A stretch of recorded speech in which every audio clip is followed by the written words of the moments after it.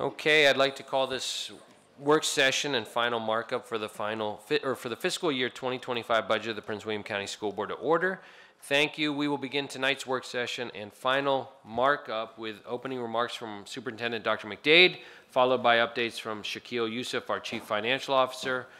And then I will share the ground rules for markup and we'll open the meeting up to board members for discussion. Following tonight, the board will vote to approve the final budget for fiscal year 2025 at next week's meeting on March 20th. At this time, I'll turn things over to Dr. McDade. Thank you so much, Dr. Lateef. Uh, Welcome all to our work session for the final markup of fiscal year 2025. The budget team and school division leadership work together to develop- develop this budget, which continues to support our Vision 2025 Launching Thriving Future strategic plan. On February 7th, our team submitted the fiscal year 25 proposed budget to the school board. The school board then held a public meeting on the proposed budget on February 12th, and then a public hearing on February 21st. Tonight, we are here to conduct a work session for the final markup of fiscal year 25 budget. On March 20th, the school board will consider approval of the fiscal year 25 budget and capital improvement program, which will then be submitted to the Board of County Supervisors for their consideration later this spring. I want to thank um, each of our school board members for your engagement, your thoughtful feedback, and suggestions throughout the budget season. I also look forward to partnering with our school board as we collaborate to ensure a budget that best addresses our students' needs. A couple of things I want to reiterate that I think is important, not just for our discussion tonight, but also for our public. I want to reiterate that this budget reflects specific strategic investments in certain areas as our students' needs have shifted. So where you'll see in certain areas of the budget where it may look like a significant increase, I want to remind everyone specifically that what we're seeing is an overall increase in the percentage of students who are English learners. As to date, 25% of our student population are identified as English learners. So where we have increased needs um, as we continue to grow in our uh, student population for English learners, you'll see that reflected in increases in the budget. Our percentage of students that are economically disadvantaged, as determined by federal criteria, has reached approximately 42%, and our students with disabilities have increased by approximately 10.7% over the last five years. And when we look at how uh, funds are allocated, the higher need students also have a higher per pupil dollar amount, and that's reflected in different um, both school and department budgets where you may see some significant increases. Given the significant growth in the student populations that I've highlighted, the cost per pupil to educate students with higher needs has increased, and this impact how we allocate funds and consider resourcing our schools uh, and our division offices that support schools. So what's being proposed in terms of additional markups are directly driven from um, strategic priorities as well as feedback from our school board members and our constituents through various opportunities um, in public comment, and so you'll see some of that reflected in what we're going to propose here in, uh, in markup. So at this time, I would like to welcome our Chief Financial Officer, Shaquille Yusuf, and he's going to provide an update on the proposed budget for fiscal year 25. Also, our Chief Operating Officer, Vernon Bach, is going to provide an update on the capital improvements project. Shaquille? Thank you, Dr. McDade. Uh, Good evening, uh, Dr. Lateef, school board mem- members. I have a short presentation here on what has transpired since um, we last met and proposed the budget in, in February. Um, Before I start, I would like to introduce uh, the members of my budget team sitting in the back there, Natasha Valencia, uh, Kathleen Addison, and Joe Mondoro. Let's do this. So in terms of county revenue, we, the BO, BOCS is meeting on March 19th to, to receive a revenue update. Uh, the tax rates that they advertised uh, is the same from the previous year at 96 cents, 90.966 for real property. Um, the real property taxes may come down depending on how the county uh, votes and, and, and what their budget process is. They did add a $3.70 advertisement for computer and peripheral taxes, which is the highest rate possible. So the county revenues, we, we plan to uh, keep the same, but it is pending finalization of tax uh, rates from, from, from the BOCS. The next um, item is state revenues. I'm sure a lot of you have received updates and followed where state revenues are. The General Assembly on March 9th approved uh, the budget, the governor's proposed budget. Uh, They approved the budget with uh, additional K-12 resources, primarily dedicated towards um, a compensation supplement for 3%. They had, uh, they reintroduced the hold harmless grocery tax uh, supplement. Uh, They also introduced um, L-tiered staffing ratios, which present a challenge in implementation, given our current hiring environment, plus in terms of looking at how we are going to staff this. In addition, one of the things we do not have right now is the VDOE state revenue calculation template. Now, this is considered for us the gold standard in from which we are able to take the state, state budget numbers and, and provide it in terms of what it means for PWCS. Uh, we're still waiting for that to happen. I'm not sure where the uh, disposition of this budget will go. I've, uh, we've heard, we really haven't heard anything concrete from our folks in Richmond, other than there may be a line item veto by the governor. Um, so we really, at this point, do not have any other information. So our current estimates are still at the levels held by the governor's budget, pending the governor's action on the budget.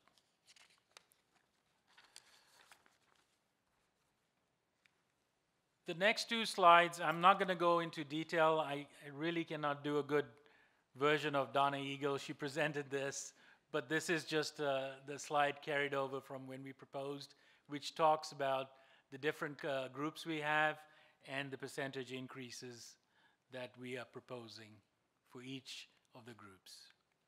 And the next slide talks about average salary increases over the years since 2021.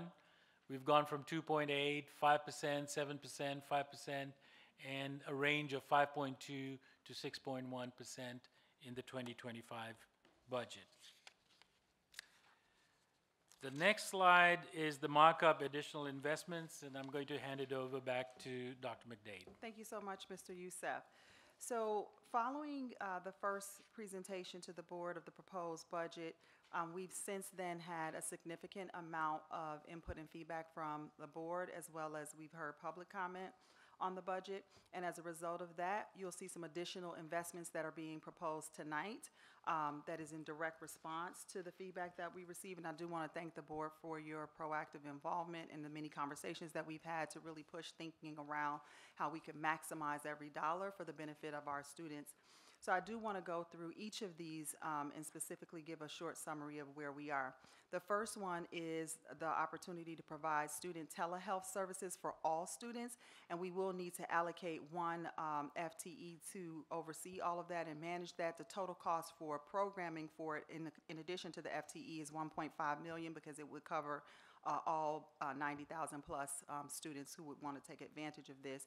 And do want to note that student telehealth is being used um, in other school systems uh, within Virginia, and there's, um, it follows all of the compliance and regulations, and there's protection for, um, you know, student protected information as well. All of those things are considered in this. The second one is the, an additional assistant STEM and robotics coordin- coordinator, which is a, a really dire need. We are growing in leaps and bounds in our robotics programming. Um, and so we're adding $165,000 to the budget to cover the need for the assistant uh, robotics coordinator. The third investment that we're proposing as an addition is um, software, and this is to support the FOIA office to make sure that we are in compliance, uh, legal compliance with records, um, document review, retention and preservation and production.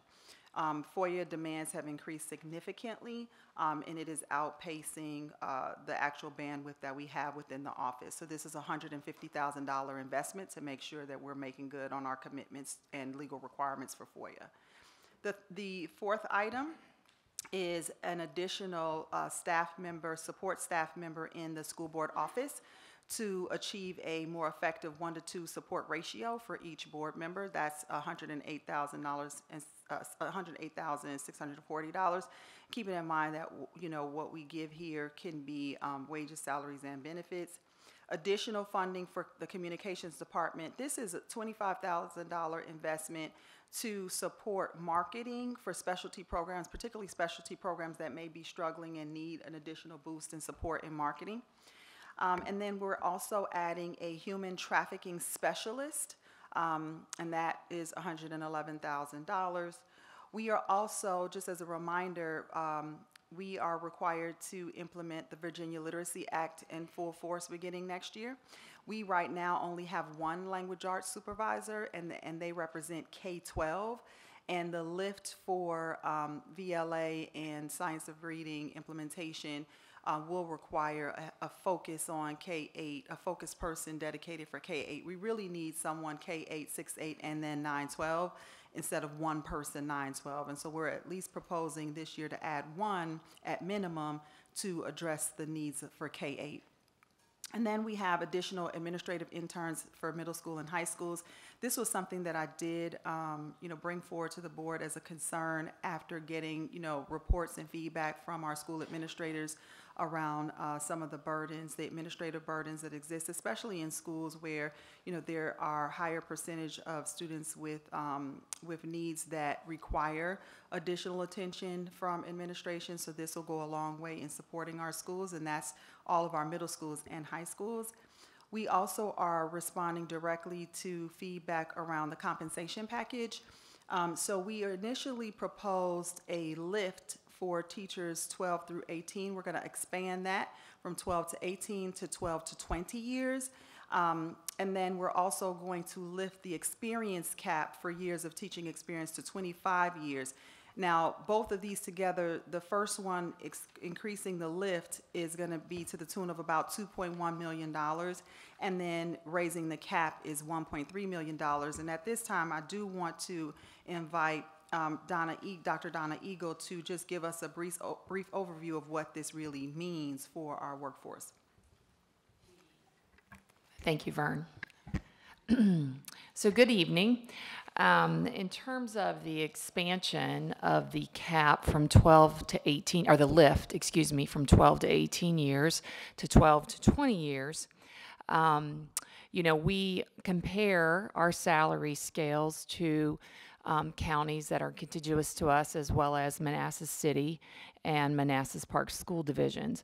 Our primary competitors for our salaries are Fairfax and Loudoun because their hiring requirements are similar to ours. So those are the primary counties, and also they're the most competitive as compared to us. And so when we're comparing our salaries, we do keep a very close eye on our teacher scale as compared to their teacher scale by years of experience.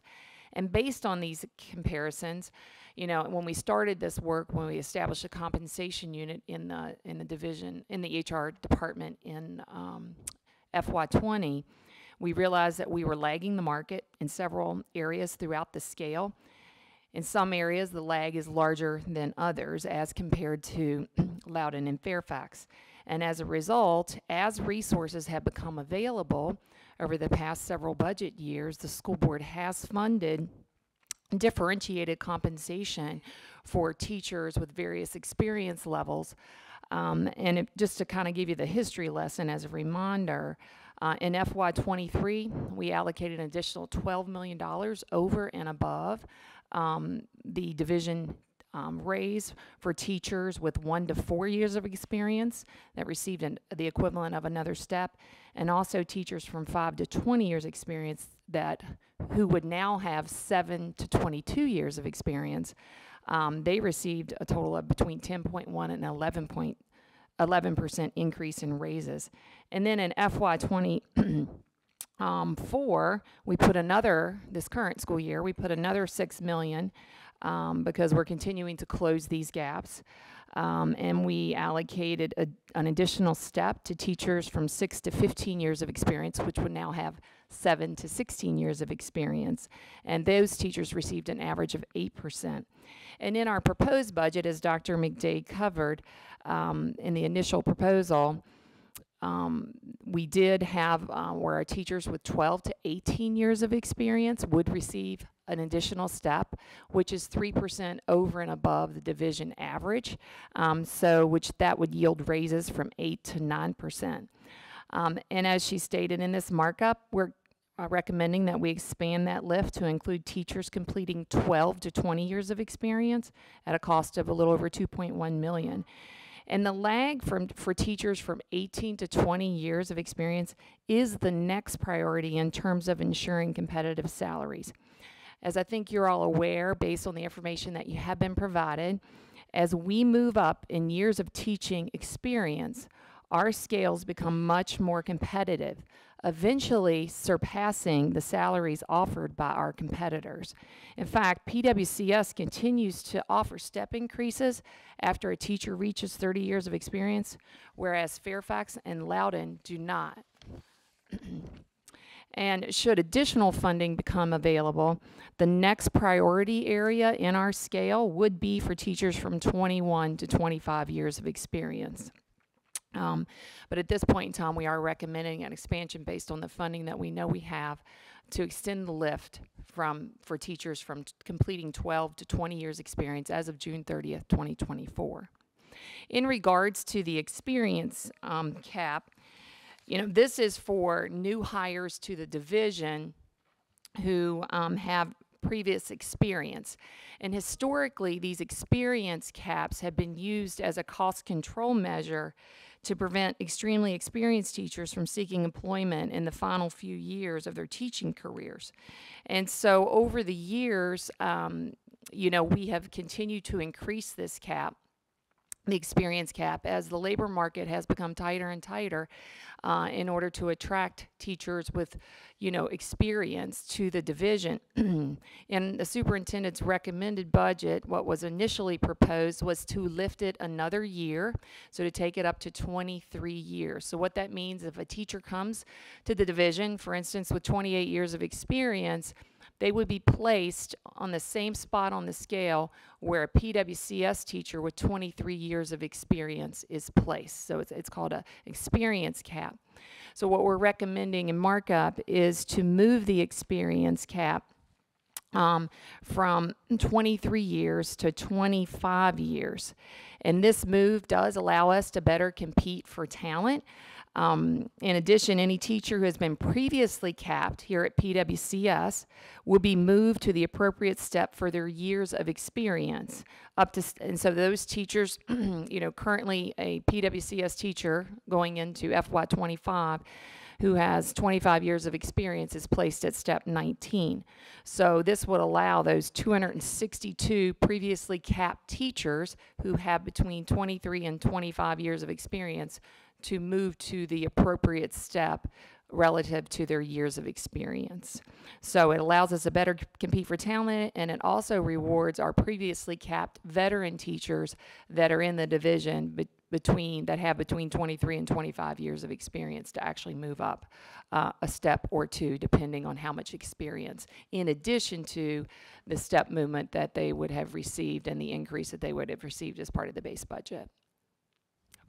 Thank you, Dr. Eagle. Mm-hmm. And just to reiterate um, and double down on our commitment, we knew that, you know, we couldn't do everything in, in one fell swoop uh, when it comes to compensation because there's a lot of work that has to be done to get us to the place where, you know, we are on par and we have parity with other school systems as it relates to, to compensation. So what we've done is incremental changes and investments over the years, which was something that we have outlined in the strategic plan that we were committing, to investing in competitive wages. Um, and so we've done that. So if we do get additional dollars, um, you should expect that we would be targeting that next group that uh, Dr. Eagle just described that we knew already um, we needed to target. So, but we started with the 12 to 18 based on the, the dollars we had, and that was where the biggest lag was. But we knew the next um, group had to be going up to 25. So additional funding would allow us to, to move more aggressively into addressing some of the areas that we already knew existed and was a part of the plan, but was a phased approach year over year. Great, thank you, Dr. McDade. It is important to note that the board members have previously had the opportunity to share with the superintendent any additions or revisions to the proposed fiscal year 25 budget, and those have already been taken into consideration. We will begin by going around the table to each board member for an opening comments. um, And then following the brief opening comments, we'll then follow this process where each board member in turn will have the opportunity to present any proposed changes they may have um, uh, that they have not previously shared with the superintendent. If there's a change, each change must be moved and seconded, followed by discussion and a vote. And a vote. No board member may speak twice about a budget change unless until all board members have spoken once about it. After all board members' comment is complete, the matter will be called upon for a vote by the chair. A change may be offered and voted on once. There, uh, should there be any changes, there will be compiled and a final vote on the budget with all changes incorporated will be taken. Likewise, should there be no changes to the proposed budget, a final vote will be taken to accept the budget as presented. Board members are not so bound by otherwise, but otherwise pledged to each other not to offer amendments to the budget in open session as being duplicative of the work session efforts, allowing for a straight up or down vote on the budget that is reflected in the final vote of the work session. Board members may make any comments or discuss changes offered in the work session in open session um, at the budget meeting. Okay, we will now move on to opening comments. And then following open comments, board members will have the opportunity to present any proposed changes. Um, Would you like to start, Mr. Wilk? Thank you, Mr. Chairman. Thank you, Executive Cabinet and staff that are here tonight. I know this is the most exciting things for you, um, but we appreciate your time and obviously the hard work and diligence that went into uh, formulating and composing this uh, budget. Um, I think, you know, I always say this, especially kind of post uh, pandemic. You know, in the past, I think one of the big things for me is with uh, previous administration was trying to connect the dots. It felt at times that things were just put into the budget for nice to haves, but it didn't really align with what was ultimately the strategic plan. At that time, I probably couldn't even tell you what the full strategic plan of that was. I do know we were promoting a world class institution, but the core components of what we offer is a big reason why I'm not what people might have saw in the past of someone who was literally breaking down and cutting things or trying to cut things galore out of a budget. Uh, those days are done, largely because when these budgets are presented, well, first of all, they hear our feedback, uh, but this budget is aligned to our core values of equity, inclusivity, innovation, integrity, resiliency, and well being. And it goes along with the strategic commitments of learning and achievement for all, which we see with the academic support, obviously, the support and the raises for our teachers positive climate and culture that goes even to facilities and renovations and programs, family community engagement. Um, one thing I, you know, I want to highlight that was uh, I'm appreciative of is uh, the additional funding uh, to promote uh, specialty programs. You know, a hot topic has been uh, last couple uh, weeks has been the underutilization of some of our buildings.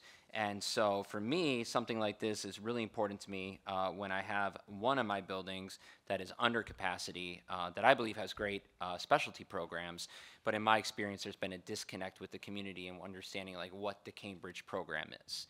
Um, because back in the day, apparently, the credits didn't transfer as seamlessly as AP credits to college. Those days are done. So I think we have to dispel that, I think, and do our best, especially targeting uh, those uh, buildings like uh, a Freedom or a Potomac, a Garfield, that are under capacity.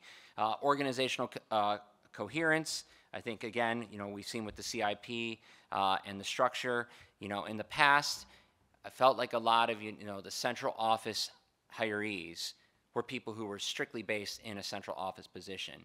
But what we've done is expanded, and all those, those, those positions might be categorized as central office. The majority of those people are school based. They're just not kind of in one school. Uh, they don't have one real location in a hub. Therefore, they're uh, categorized or classified as uh, central office employees. Ultimately, in the end, our goal I always look at it as our, our, output, which we saw a couple weeks ago with our student vision profile reports, is to produce students who are critical thinkers, digital citizens, innovative, visionary, resilient, and global collaborators. That is our ultimate goal. And in this budget, I feel like we have met those goals. You know, a big area of mine that was a focus this year um, is, you know, I've always been passionate about the arts, and I know Dr. Lateef has um, expounded over the CAPIs and having participation and stuff like that. And a lot of it's not necessarily funding. You know, it is, you know, yes, I did make some requests and things, but once I understood that it's more of a facilities issue, we got to kind of figure out the layout of buildings. You know, one big focus of mine is, you know, what we've seen with the pandemic, post pandemic, there was an immediate decline in enrollment in like our choirs, our orchestra, our theater and performing arts. Uh, I want to look into that more. I want to make sure that our counselors, both at the middle and high school, are definitely promoting those as much as the specialty programs because I think they can be in conjunction with one another. And we don't necessarily want kids dropping choir or orchestra because they feel like that's the only period that they have to take, like an IT class uh, in one of our things. So we, we got to figure out that process. Um, I want to make sure we figure out, you know, when it comes to performing arts, and really everyone uses those stages, um, you know, in our schools and our high schools. You know, um, I understand that every building cannot be a Colgan. Obviously, it's one of our newest buildings and newest facilities. Uh, but what can we do to further help our arts programs in some of our older high schools uh, if we can't make space uh, for them to house like props and sets? Why don't we get rear projectors or something where it can be more digital and it can appear like a set, whereas you can't store them in normal situations. I'm very happy with the stipends. Um, I think that's very good. Um, one area that I know the administration is looking at is the strings um, and looking and seeing um, with their team. I'd like to see them get that stipend, but I also understand there's logistical work that has to be done with that um, before anything happens like that with the vote. Um, so that's enough of me rambling. That uh, is my overall feedback, and uh, I reserve whatever time is left. Thank you, Mr. Wilk. Ms. Tredinnick. I don't think you had any time left.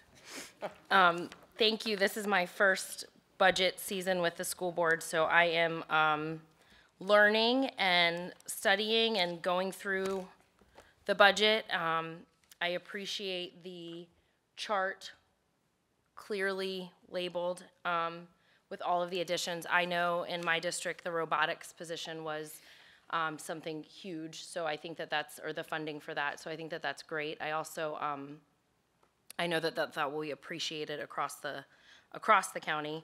Uh, the other position that I liked in this chart was that human trafficking specialist. I think that's much needed um, in the year that we're in right now.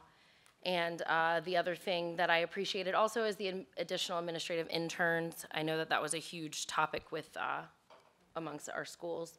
And of course, the teacher, the teacher jump in pay, that's great, and I appreciate that we're still trying to further increase that jump. Um, and so I hope that our teachers are excited about that, that little effort that we made, even though that's a big effort, it's a big leap. So thank you guys for, for doing that. Um, and I think that's it. That's all I have. Thank you. Thank you, Mr. Tredinnick. Mr. Blake. Uh, Good evening, everyone. Uh, I don't have much to say. I'm, I'm very happy with this budget. It aligns with our uh, strategic plan, uh, and that's it. Thank you. Mr. Jessie.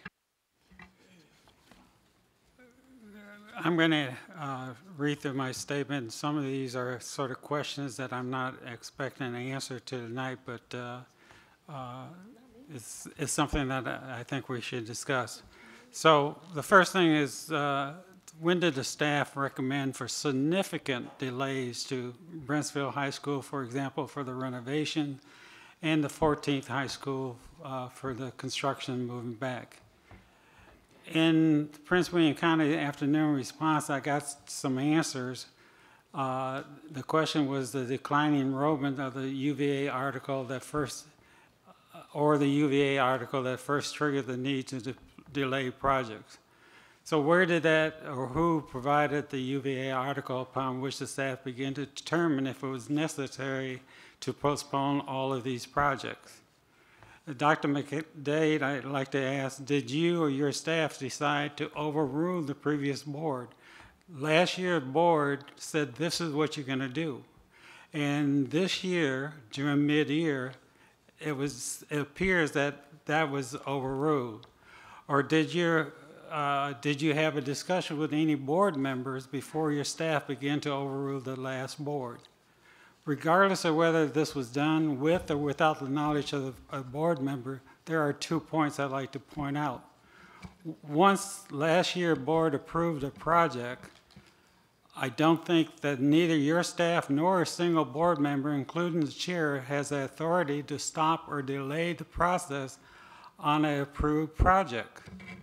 Dr. Lateef, as you did today, did you send the first UVA article to all the board members and encourage us to, to consider that? The other thing is then, when is it important? Because I find it's hard to believe that with all the adjustments needed to make the, the budget, these changes were being considered and created by staff not in November or December 2023, but probably last summer or early fall.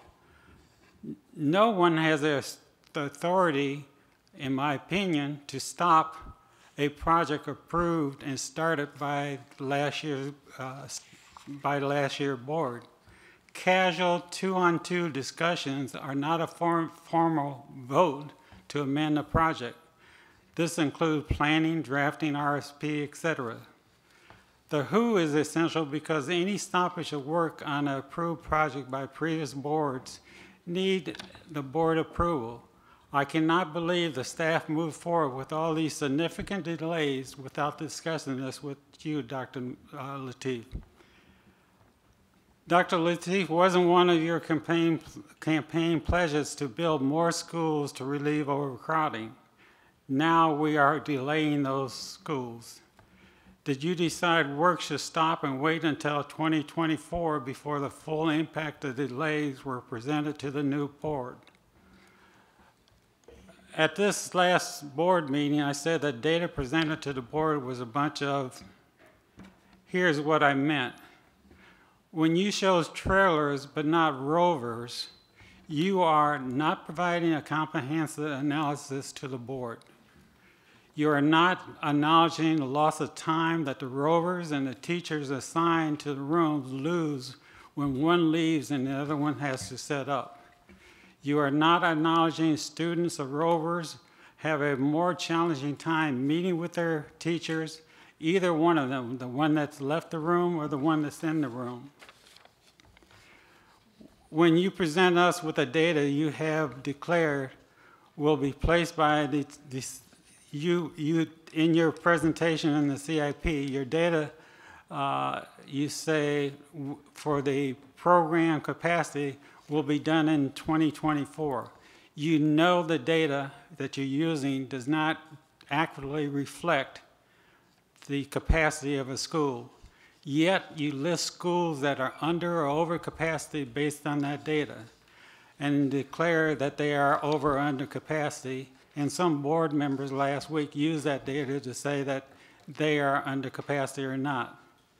Based on May 20th, m- a May 20, 2017 planning capacity and program capacity presentation, uh, generally documents that the older the school, the more likely the number of students that are overcrowded increases. Regardless of whether a school is over or under capacity, when the fire marshal posts that a maximum seating capacity of a class is 30, but some periods have 35, the teacher will do the work, have the class, but really we are asking them to break a, a law. When you don't have the needed classroom, you are overcrowded regardless of the number of students. The, and 19 rover is, 19 rovers at uh, Woodbridge High School is a prime example.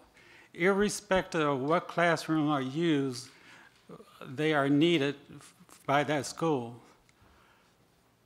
There are significant developments that are planned for our area around this new school.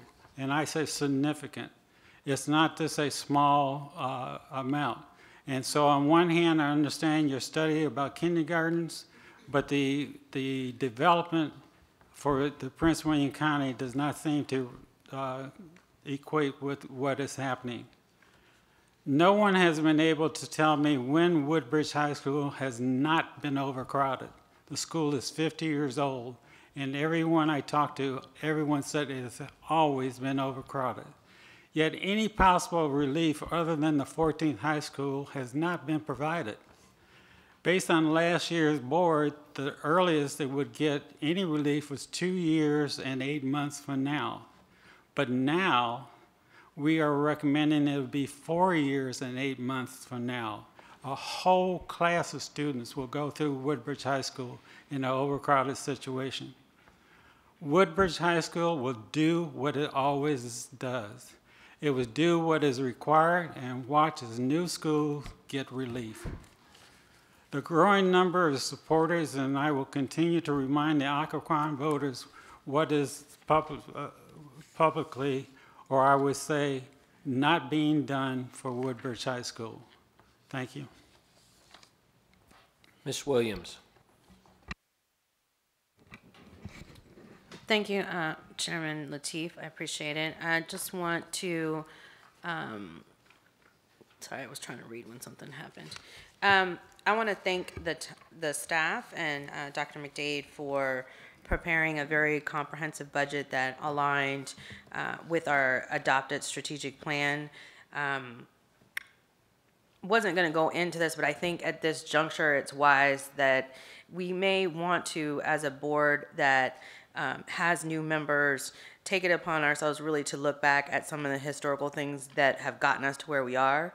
Um, Justin brought up the old strategic plan. It was like a sheet of paper. There, there wasn't a lot of bullet points, and and so we have moved into a new chapter of this division and operation, and we should take our time and our due diligence to learn where we were, but we also need to respect where we are and where we're going and use that as the light post to make our decisions, along with taking into account some historical information.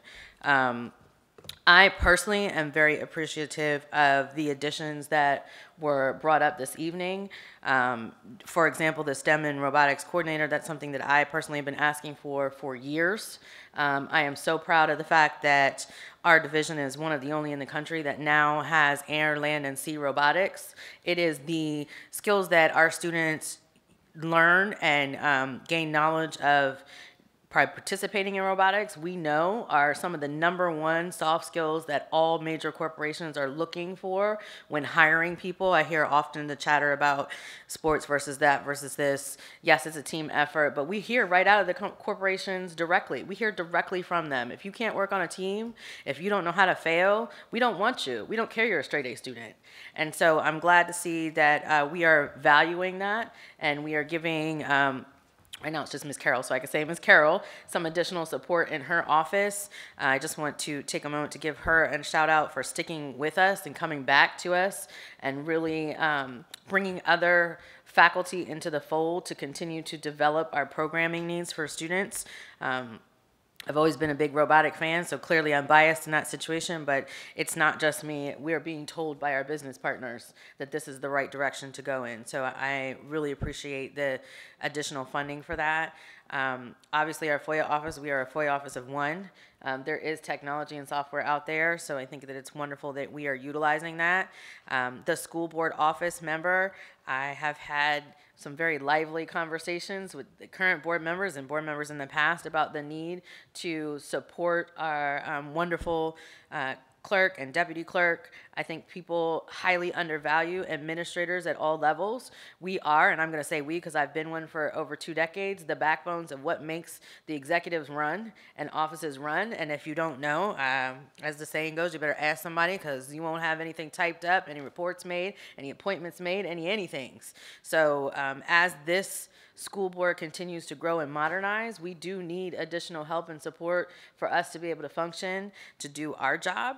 Um, so I am greatly appreciative of that, and I hope that our board as a whole agrees with us. Um, the communications department, I, I, give them a standing ovation. Um, just watching all of the new areas that they are advertising, not only for employment, but also helping us change the reputation of some of our schools. Um, Mr. Wilk, you brought up Freedom and um, some of the older schools that have uh, uh, a reputation problem in the community, right? We, uh, how many people I spoke to during election season that did not even know that Freedom had won two national awards and had only really seen what they read on Google, which wasn't even accurate because most of those incidences didn't even occur in the school or on the school, it occurred around the school. So taking time out to rebrand our division, to give those schools that suffer from reputational um, injury, depending on who you talk to, a chance to really thrive and flourish and help our community members understand what is going on in our community schools right now and not what was, I think not only is a benefit to those in the building, but also our community at large, because we know that people move for schools. We're the largest employer in this county, and if you don't have good schools, you're not going to have a good county budget. None of us will be here, and it, you know, we might as well end this discussion. So I really appreciate that. I appreciate the technology that's being utilized by our communication department and the new avenues um, that they are taking to really spread the word, reaching people where they are. Because we are a, a county that does not have a centralized communication system. We don't have a newspaper. We don't have anything that really um, binds us together as a community throughout um, from one end to the other of Prince William County. Um, the additional support for human trafficking, I think, is wonderful. I would love for us as a board to be updated at a later date about what we're doing programmatically wise, but that's not not right now. It's not the time or the, the place to do that. Um, the continual investment in providing administrative support at our middle and high schools as they continue to grow and the needs um, of our student population our staff changes. I think that'll be very instrumental. Um, I I do appreciate the upper, the nod to the uh, more experienced teachers. That has been something that I feel that they have been left out of the conversation. So I'm glad to see that we are acknowledging that and trying to do what we can uh, within our budgetary constraints. As we move forward, not only I think we should be looking at the upper end of the scale, but I would also like for us to revisit the bottom of the scale. Fifty thousand dollars after coming out of college is still. Uh, WIC approved at, this point in time. Like we shouldn't have anybody working for us that has to also go seek state benefits, and um, that's the reality of where we're headed. I don't know if we're we're there now. It's not our fault, um, but I do think that you know when you work for a school division as a full time employee, you should be able to live somewhere full time. And I know that's not solely up to us. It's the community that we live in, but uh, um, I think it makes a difference that we continue to do everything that we possibly can to ensure that our employees are well compensated. Um, we we have not talked um, in this update about the CIP. Um, I think it is something that, from what I'm hearing from our fellow board members, that we may want to consider a separate session to really understand how the CIP is developed, um, what our cutoff date is versus when the BOC, uh, BOCS approves projects, the timelines involved in getting um, RFPs, plans, construction, uh, all of those things. Um, I keep hearing out in in the atmosphere the reason and rationale for some for this decision. Specifically, Mr. Jessie brought up the 14th high school as being incorrect and being solely based off of a UVA study. Um, I don't I don't feel that's accurate. We've talked about it in our first uh, board uh, when we did our CIP session initially. Um, some additional reasons were outlined that seem to have been lost in the crowd. I did ask for an additional update um, and some more in-depth information to be provided, not only to this board to be reiterated, but also to the public, because we know that the media just picked up on the one study and ran with it as if that was the sole decision, and there should be no reason why any member of the public would think at this point in time that our school administration would base anything on one singular lens. Um, we have not acted that way to date. So I, I would like um, not only the information that's been shared with us, but another avenue for us to have that discussion for educational purposes. Um, we often get a tagline in the press, and it's not an accurate reflection of the amount of work or the decisions that go into this process. Having two by twos are to prepare us to do our job and so that we can come to meetings and make decisions and, and be informed and ask questions so we don't hold the public here until 12 30 1 o'clock at night um, it doesn't mean we can't ask those same, same questions. I'm happy to do so if that's going to provide more information to the public. But I would like to recommend us having an additional work session, maybe on um, CIP and capital improvement projects. I happen to have a love affair with facilities and things of that nature, um, but I, I, feel like we've missed the beat, the mark on that. Um, and educating our public, and that's part of our responsibility to do so. So I would like to see some further discussion on that um, just for our own under, for the public's understanding and for some of our new board members' understanding as well, because it's a very in-depth topic, um, and you just can't cover everything all the time when you have new people. So I want to reiterate that I appreciate the work that's been done, um, but I, I could use a, uh, a little brush up myself. So thank you very much, and I look forward to the remainder of the work session. Ms. Wall? Thank you, Dr. Lateef. Um, I just, I'll uh, try to be brief. I want to thank everybody who's worked on the budget and the CIP. I know it's a very heavy lift. There's a lot of data that goes into this, a lot of preparation, a lot of team planning, and who knows what else. I know I don't know all that's in the sauce, but I know the sauce is good, so I appreciate it. Um, I uh, I also want to echo the comments about the strategic plan guiding this process. I think that's one of the things that we do really well. Um, when I look at a new budget or a proposed budget, I can see exactly where this fits with the strategic priorities that we identified. And I think the public appreciates that, those who are paying attention understand that. Um, and I appreciate it as a board member as I reflect the needs of my community, and I also consider the needs of the community of Prince William as a whole. Um, so awesome process. Um, I know the development of the budget starts probably, well, as soon as we pass this budget, we're going to start developing next year's budget. I know it's a year-long process, so I just want to say thank you for that. Um, and on that topic, um, I know even you know the development of the CIP is also an ongoing project. It is a living document. It is year to it, it's a five-year plan, but it it rolls year to year to year. So while something may be in the plan now, it may come out of the plan next year. Something that wasn't in the plan may come into the plan because we are a living, breathing community and things change. So that's something really important to keep in mind with the budget and the CIP. Um, but I do appreciate the additional investments. A number of these things are things that I specifically asked for, um, and I'm really pleased to see them in here. Um, things that as I've been out and about in the community, people have told me or have talked to me about over you know several years, and I'm pleased that we have the resources to be able to put some of these things in, not just what's additional, but also what's in the budget. Um, of highest priority to me is those in investments in learning and achievement for all. Um, but I understand we, you know, we have four strategic investment categories. Um, and so I'm very happy to see, you know, a number of these STEM coordinator, um, software for FOIA, Sport FOIA, e-discovery, that's, we need to, we need to relieve, there are ways to do smarter, better, um, and, and more efficient and more accurate. So, um, and not drive people into the ground with doing things the way we've always done them. So I'm really excited about that. Um, I can go on. I just think this is great. I really appreciate it. Um, I just want to say in my closing, um, as we consider the budget and the CIP, we remember that we are fiduciary um, holders of the budget, um, and the public expects us to make wise decisions, and decisions to the best of our ability that will last far into the future. And when decisions are made that are rash or aren't supported by data or the facts on the ground, then there is a consequence later on. And in past years, well, nobody is perfect. You know, we try to do it right, but sometimes there have been mistakes, and some of the problems that we're challenged, challenged with today are because of decisions that were made in the past. Um, so as we work on this budget, um, I do um, hope that we will keep in mind wisdom, fiscal restraint, and adherence to data, the best that we have. And, and on that point, I, do, I did forget I was going to say this. I know um, it, it is my observation that our folks who work with data and um, all the numbers and try to forecast do a really good job.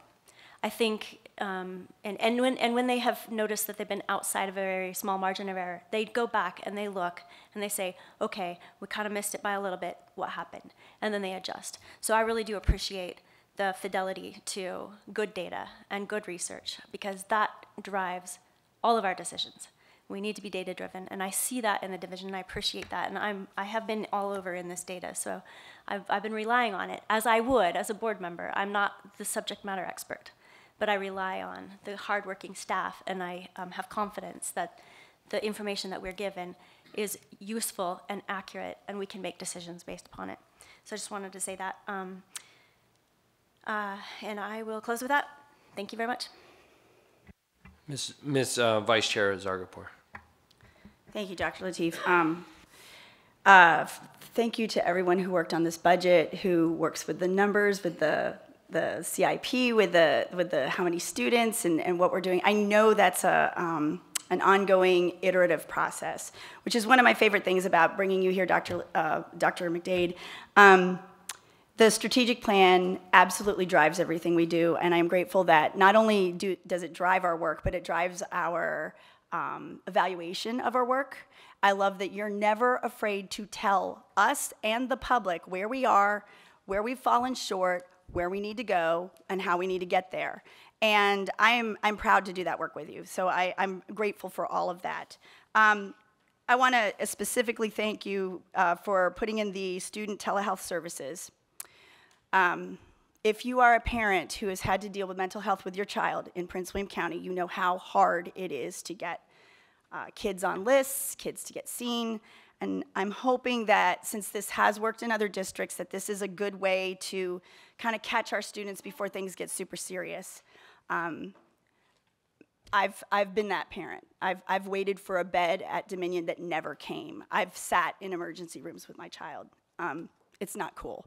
Uh, and we're solidly middle class. I have relatively good insurance. So um, I, I wonder if it had existed when she was in middle school, if it could have caught some of those things that we just were bewildered by, if it would have been a better path for her. So hopefully this provides a better path for some of our kids and gives uh, our parents and families a peace of mind.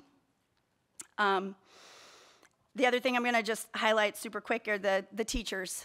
Um, thank you so much for continuing to work on the pay scale. I know it's, it's easy to sit and say, well, teachers deserve to be paid more and they work hard. And, and it's so hard when our buckets of money only come from a couple sources and we are reliant on what they give us. And we have to be smart as the decision makers here on how to make that money get into the right places. So I am grateful that we can consider our teachers who were, I know they were feeling a little ignored or uh, not heard, and I'm glad that we're able to do something. And I know we're going to continue to do things. So um, the, the, the, budget has been, um, it's been a pleasure to do this over the past couple years. I thank you. And uh, Dr. Lateef, I'm done. Thank you, Vice Chair Zargarpur. All right, um, excellent. Um, just brief comments. Again, we'll reiterate, reiterate, thank you for all the great work. Um, the budget um, is fantastic. It aligns with the strategic plan. It's another good budget. Again, to remind everyone, final numbers won't really, you know, we'll approve our budget next week, but the county then has to approve theirs. That might change revenues depending on what they do with tax rates, and the state budget won't be finalized until the governor signs it, which may or may not happen, and they may go into special sessions on that. I think the high points in this year's budget really align with teaching and learning if you really look at the work we do. And so from the teaching standpoint, it's another significant raise, and I truly appreciate the extra work we're doing to adjust the pay scales in the mid ranges um, in the uh, now 12 to 20 years and we still have work to do, as you heard from Dr. McDade, which I think is critical. Um, but th this is something we have continued year over year to really make significant improvements, and I'm very proud of the efforts we've done on that. Um, and it's not easy. You know, I mean, we have, you know, we've prioritized salaries because we believe in improving recruitment and retention, and that does work. But you know, prioritizing salaries takes money away from other things that we have to do as well. So it, it is a it is a careful balance. Um, and this is, I'd like to remind the public, the 6.1 is on top of the two that went into effect in January. So just a, January 1 was a 2% raise, which we rarely ever do a mid-year raise, but the way the state budgets worked out, they provided some late monies, and we were able to do that. So this will be 2 plus 6.1. So it's really 8.1 moving into next year. So that's very exciting. And, and, and if you take a look at the other numbers, they're, they're great. So that's on the teaching side. On the, on, the, on the learning side, we have invested heavily in tutoring. That's in the base budget. We've invested in um, adding, um, you know, there's the science of reading. We're adding some experts for that. We're adding, you know, more instructional coaches. Um, you know, I think with every budget, you know, and there's been very few budgets that I've been disappointed with really over the last few years, but I could always want more. And I think everyone who looks at the budgets would say, you know, I didn't get everything I wanted. Um, and that happens to me every year. I would love our council ratios to continue to drop. I know the recommended council ratios are 1 to 250. I'd love to see them at 1 to, you know, I'd like to see us beat the national recommendations. So, you know, I have a wish list that's, that's really big and, and, and continues to sort of, you know, unfortunately be disappointed by just, you know, where, where I think we, we just, as a society, need to pour much more money into education. But with what we have, this has been terrific. I appreciate, Dr. McDade, all the um, added additions to the proposed budget. Um, This is very exciting, and let me, let me reiterate the important part also on the teaching and learning, on the learning side, mental health. And and we've all talked about how important that is. We, we've heard a lot. We've, the public has come to speak about it. Students have spoken about it. Student board member has spoken about it. It has been something that has been accelerated from the pandemic and a real issue. This um, telehealth um, effort uh, has been successful in other counties across the co- Commonwealth and the country. Um, I'm excited about it. I think there is a movement in the state budget um, to help. There might be more monies coming to us earmarked for telehealth as well, which may help us recover some of the monies we're going to make that investment on. But this investment is going to happen regardless, is my understanding. Right? We're going to do this. So this is very exciting. So, anyways, that is. Um, you know, all I have to add, and, and just to say that, you know, every time we make a vote, we, you know, not everyone gets what we want, not everyone who's out here, you know, um, um, you know, certainly um, we have to make changes and adjust for, for, for the data that we see. So we will now move to the next session of the meeting where each board member in turn will have their opportunity uh, to make remarks. And so we will, I'll start by saying, are there any proposed changes? Um, at this time, we can go either who wants to go first, or we can start down with Mr. Wilk if you'd like. Or anybody. Does anyone have, okay, let's, let's first start. Does anyone have any recommended change to the budget? Any motions? Mr. Jessie? Yeah, I'd like to move that the uh, CIP be amended, the proposed CIP be amended to have the 14th high school go back on to the original schedule that was uh, voted on and approved last year. Do you have a second? Mr. Chairman, with a disclaimer, please. Sure. Um, out of respect for Mr. Jessie, uh, and that this really ends tonight. This is a work session, the chance to change the markup of the budget. Um, full transparency, I'm not supporting this, uh, but in the effort of allowing him to make his pitch once more, and if any board members choose to speak uh, as to why they're making their decision, I'm going to open this up. I've heard a lot of people say, well, this is what, you know, the Dr. McDade wants. Well, the reality is she makes a proposal for us and what she believes is in the best interests of our school division. And so I'm not saying everyone has to speak on this, but if people would like to add after he speaks, and I think I get to speak with the second, um, I think this is a good opportunity to have that out because the press is here, people have covered this story, there's a certain narrative, and I think this is a great opportunity for everyone to kind of speak. So we'll call that your disclaimer and your first comment, okay? Um, Who would like to go next on the discussion? On the- So the motion's been seconded, we, we're now open for discussion. Wait, sure, Mr. Jessie? Yeah, first of all, I, I just want to clarify a couple of things. Uh, it's been sort of on the web that uh, when Mr. Wiggins spoke, that he was talking about bullying, and people were, uh, some people were saying that was Dr. McDade. That was not Dr. McDade who he was talking about, so I want to make that clear. The second thing uh, is that as I said before, Woodbridge High School is 50 years old. Uh, my kids didn't go there. We went to Garfield. And as somebody spoke uh, a few minutes ago, the reputation of the school also helped determine whether people want to go there or will do whatever they can to get out of there. And Garfield did not have the greatest reputation when my kids went there, but we still sent them there. And I can say in all honesty that uh, they started the IB program uh, while my two kids were there. My oldest one could not get into the program, and my youngest one, it changed her life. The IB program really worked. So even though it didn't, it was a good school for us, and I want that. But I wanted the teachers and, and the uh, students, they make things work.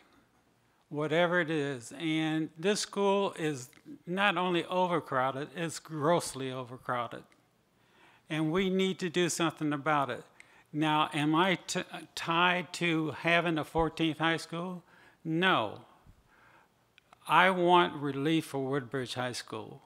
And I would like the staff to figure out something because we shouldn't have to wait five years to, but as I told people last night, regardless of what we do, it's going to take five years, but uh, to get done. So, but we need the relief.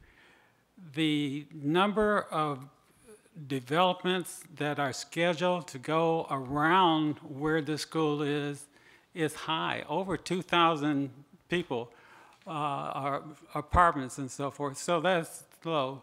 I, is this is this boggling to my mind that we don't? And yes, it is a living document, but a living document has rules. And we, when we make major decisions in the middle, it deserves a vote. If when we moved all these projects back, uh, two years, one year, those were major decisions. And that should not be a casual conversation, in my opinion. It should be a conversation uh, in a special meeting called to get that done. We need to, we need help and we need to get this done. The teachers, they will do whatever you tell them to. They're not going to come here to the boardroom. It's not in their best interest to come. But they will get the job done. They will teach your kids. But they deserve, and Woodbridge High School deserve, and I don't know much about Brentsville High School. I just looked at it. It's older than Woodbridge. And it deserved that renovation. And I don't know why we're waiting. So, uh, you know, as Mr. Wilkes said, and, and I appreciate the fact, and I knew he was not supporting the program, but I appreciate his second. Thank you. Ms. Tredinnick. Thank you, Mr. Jessie, for explaining that. Um, I, I again have been overly clear about the CIP and the and the changes that need to be made. And I, what I heard you say, Mr. Jessie, is that Woodbridge High School needs relief. Um, I, I don't know that relief is brought about with a new school. Um, I think that we as a board have other options in providing relief for these incoming developments that you're referring to that are happening all across the county. Um, Prince William County is growing. Um, and in different districts, more than others, which I explained to you last week, you know, you're talking about 2,000 incoming projects. Um, the Brentsville district has 6,000 homes incoming on, on a piece of paper. Um, and, and they're not voted on yet, so they're in the air, which means if they do happen, we're not prepared um, in the next four years. So it's something that we have to look at, which we're, we're having those conversations, we're talking about it, and it's about planning. And I think that when we have the conversation now, it can prepare us for the future to be prepared later on. Um, so I understand where you're coming from, needing relief. And a lot of people have said, you know, the redistricting and the re and the realigning of, of lines and things like that, that's a conversation. Um, and, and I appreciate your perspective. I appreciate the parents and the teachers and the students that came out and talked about the need. Um, again, we're given numbers, and I do think that you guys have done a great job. You mentioned Brentsville High School, um, and it's no secret that I love that school.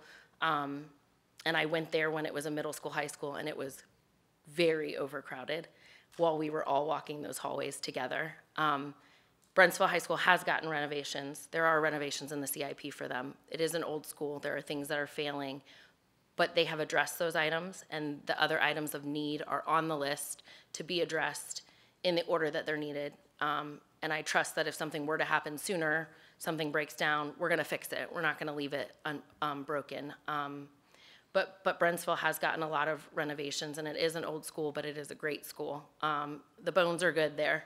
So I, I see what I see where you're coming from. I understand what you're saying, but I do think that they're doing a great job addressing all of those needs in the CIP.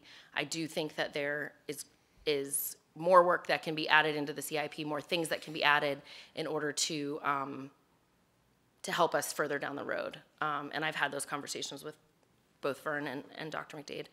Um, so thank you. That's all I have. Ms. Williams. Thank you, Mr. Chairman. Um, so I'm going to take the opportunity as the only current elected board member that has spent um, close to a decade on this very topic of overcrowding in schools and land and land utilization and banking and serving on committees and all of the things. Um, I want to say that there is a significant difference from the way that we approached this in the previous administration to how we are doing it in this administration to start with. Um, I also think that, again, I'm going to reiter- reiterate what I said during my opening statements, and that is when it comes to facilities and land utilization, there there's an educational deficit not only among new board members because you just got here, but also within the public. The the amount of time that it takes to secure land, the process from then each parcel that has to be secured to then developing um, a blueprint, putting those out for requests out for proposals, getting that approved, um, then having the board approve each step along the way. I think that um, it would behoove this board and the public if we had a separate session on just basic understanding of when, when we make these decisions versus when land or developments are approved at the BOCS, what that means to us, what our cutoff date is. All of those things make a difference. And when we do our budget cycle, to say, I, I, remember, for example, when I first started, I used to get very upset. I was like, well, we know that so and so development is getting ready to be approved. I, I'm sure the planning office was not thrilled every time I called because I didn't understand that having a development being proposed but not yet approved, we don't count that because it's not a reality yet. I've also come to learn that just because something is approved does not mean it'll be built right away either.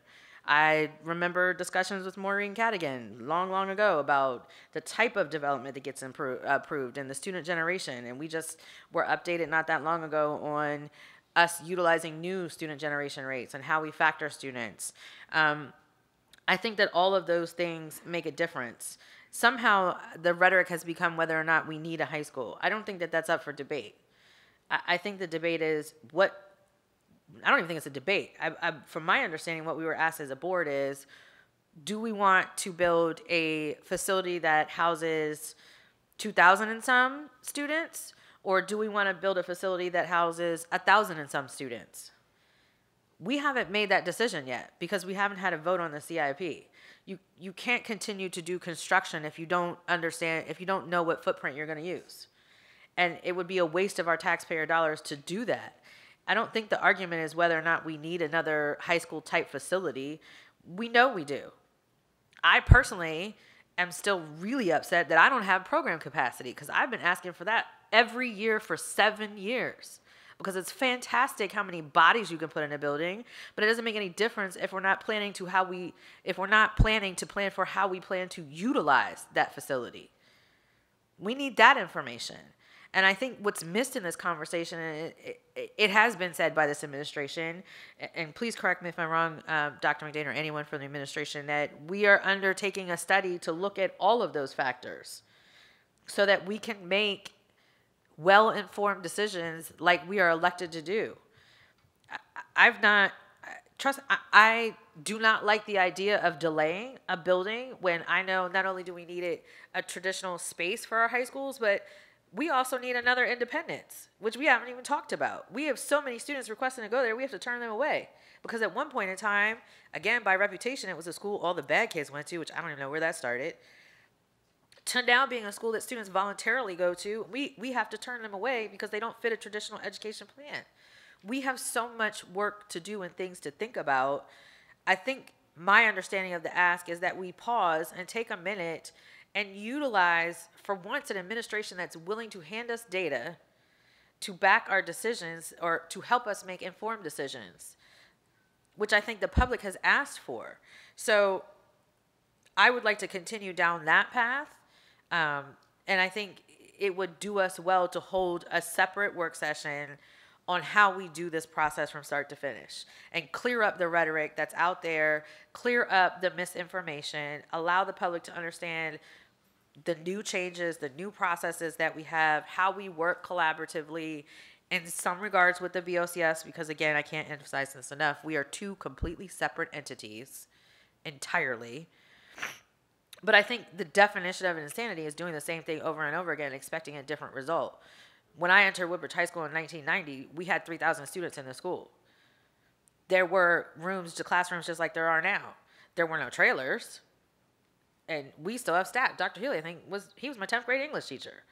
So I mean, I, I understand what it's like to sit in a, in a high school that's overcrowded from a personal perspective.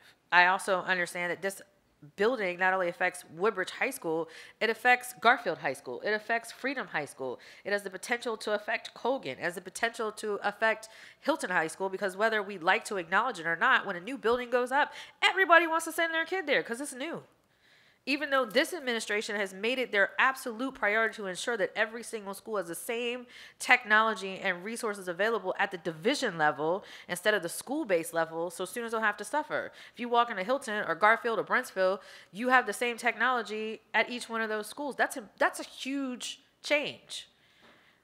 So I think you know, if we want before we vote on the budget or whatever the case may be, whether we need to publish something out there or have a separate Saturday session, which nobody ever likes to do, but I'm all here for it, so that we can really inform the public and understand the full picture of what it is that we're trying to do, I think would be a very smart decision. And I'm highly encouraging that we we do that because clearly there's a lot of misunderstanding on how we got to where we are and what it is that we're trying to do. It's been presented as like sole relief for Woodbridge, but it doesn't affect. It's a high school. It's not, we're not building an elementary school. We're not building a middle school where it's mostly the effects are within the district. This affects all of us. And I'm, I'm going to actually say the thing that nobody ever wants to talk about, but I've been saying quietly, getting eyeballs of death at me. But if we if we really believe in equity, we should really look at all the high school boundaries. And yes, please gasp. But it's true. Colgan has more students bounded within their boundary district than that building can hold. Forget program capacity what are we going to do when we build another high school and it's right next to th- three high schools? We, are we just going to boundary that one again and repeat the same mistake over and over and over again? It, it is painful to wait, but it is even more painful to continue to make the same mistakes without honoring our own commitment, which we said we do, which was value equity, do the best that we can for our students and our staff and our parents. I don't want my child to go to an overcrowded school like I did.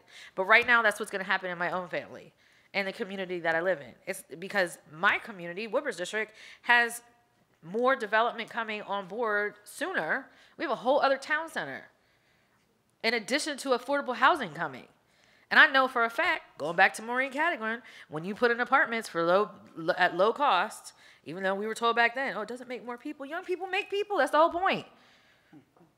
So, forgive me for the long rampage, but I think it's time while we have the opportunity. This is a brand new board. We're all very intelligent, competent individuals. We have an administration. It's dedicated to serving our entire community we respect the silos for which we were elected, but we embrace equity throughout our division and finally, finally put a, nail in the coffin of the East versus West and treat everybody equity, equitably, redistrict our schools, have meeting with real estate agents because they're really the ones that get us in trouble when it comes to where your student's going to go, and, and move forward in the right direction for the benefit of all of us. Because my school has 11 some trailers. The West now has more trailers than they ever had because they're growing faster. So what, what's happening here is now happening over there. But we don't have to keep repeating the same thing. We have the opportunity and the time, and we will have the data to back up making a more informed decision. And I'm going to continue to advocate for that. And trust me, it's painful. Seven years is a very long time to spend a, looking at land and working with former board members and working with the BOCS and, and still be in this very same situation. I hope that we can wait on the study utilize the information that's coming out of it and really make smart decisions. And Dr. McDade, if you could re- refresh our memory a little bit about what that study entails, that would be fantastic. Capacity study. Yeah, sure. I'd, I'd be happy to. Um, you know, and I just want to go back to, you know, earlier, um, you know, the, the high school was slated to come online in 2026. And we went to the board and had conversations regarding, you know, uh, pausing. And at that time, it was still 2557. And we paused to um, not, not plop down the prototype, but go into a full redesign.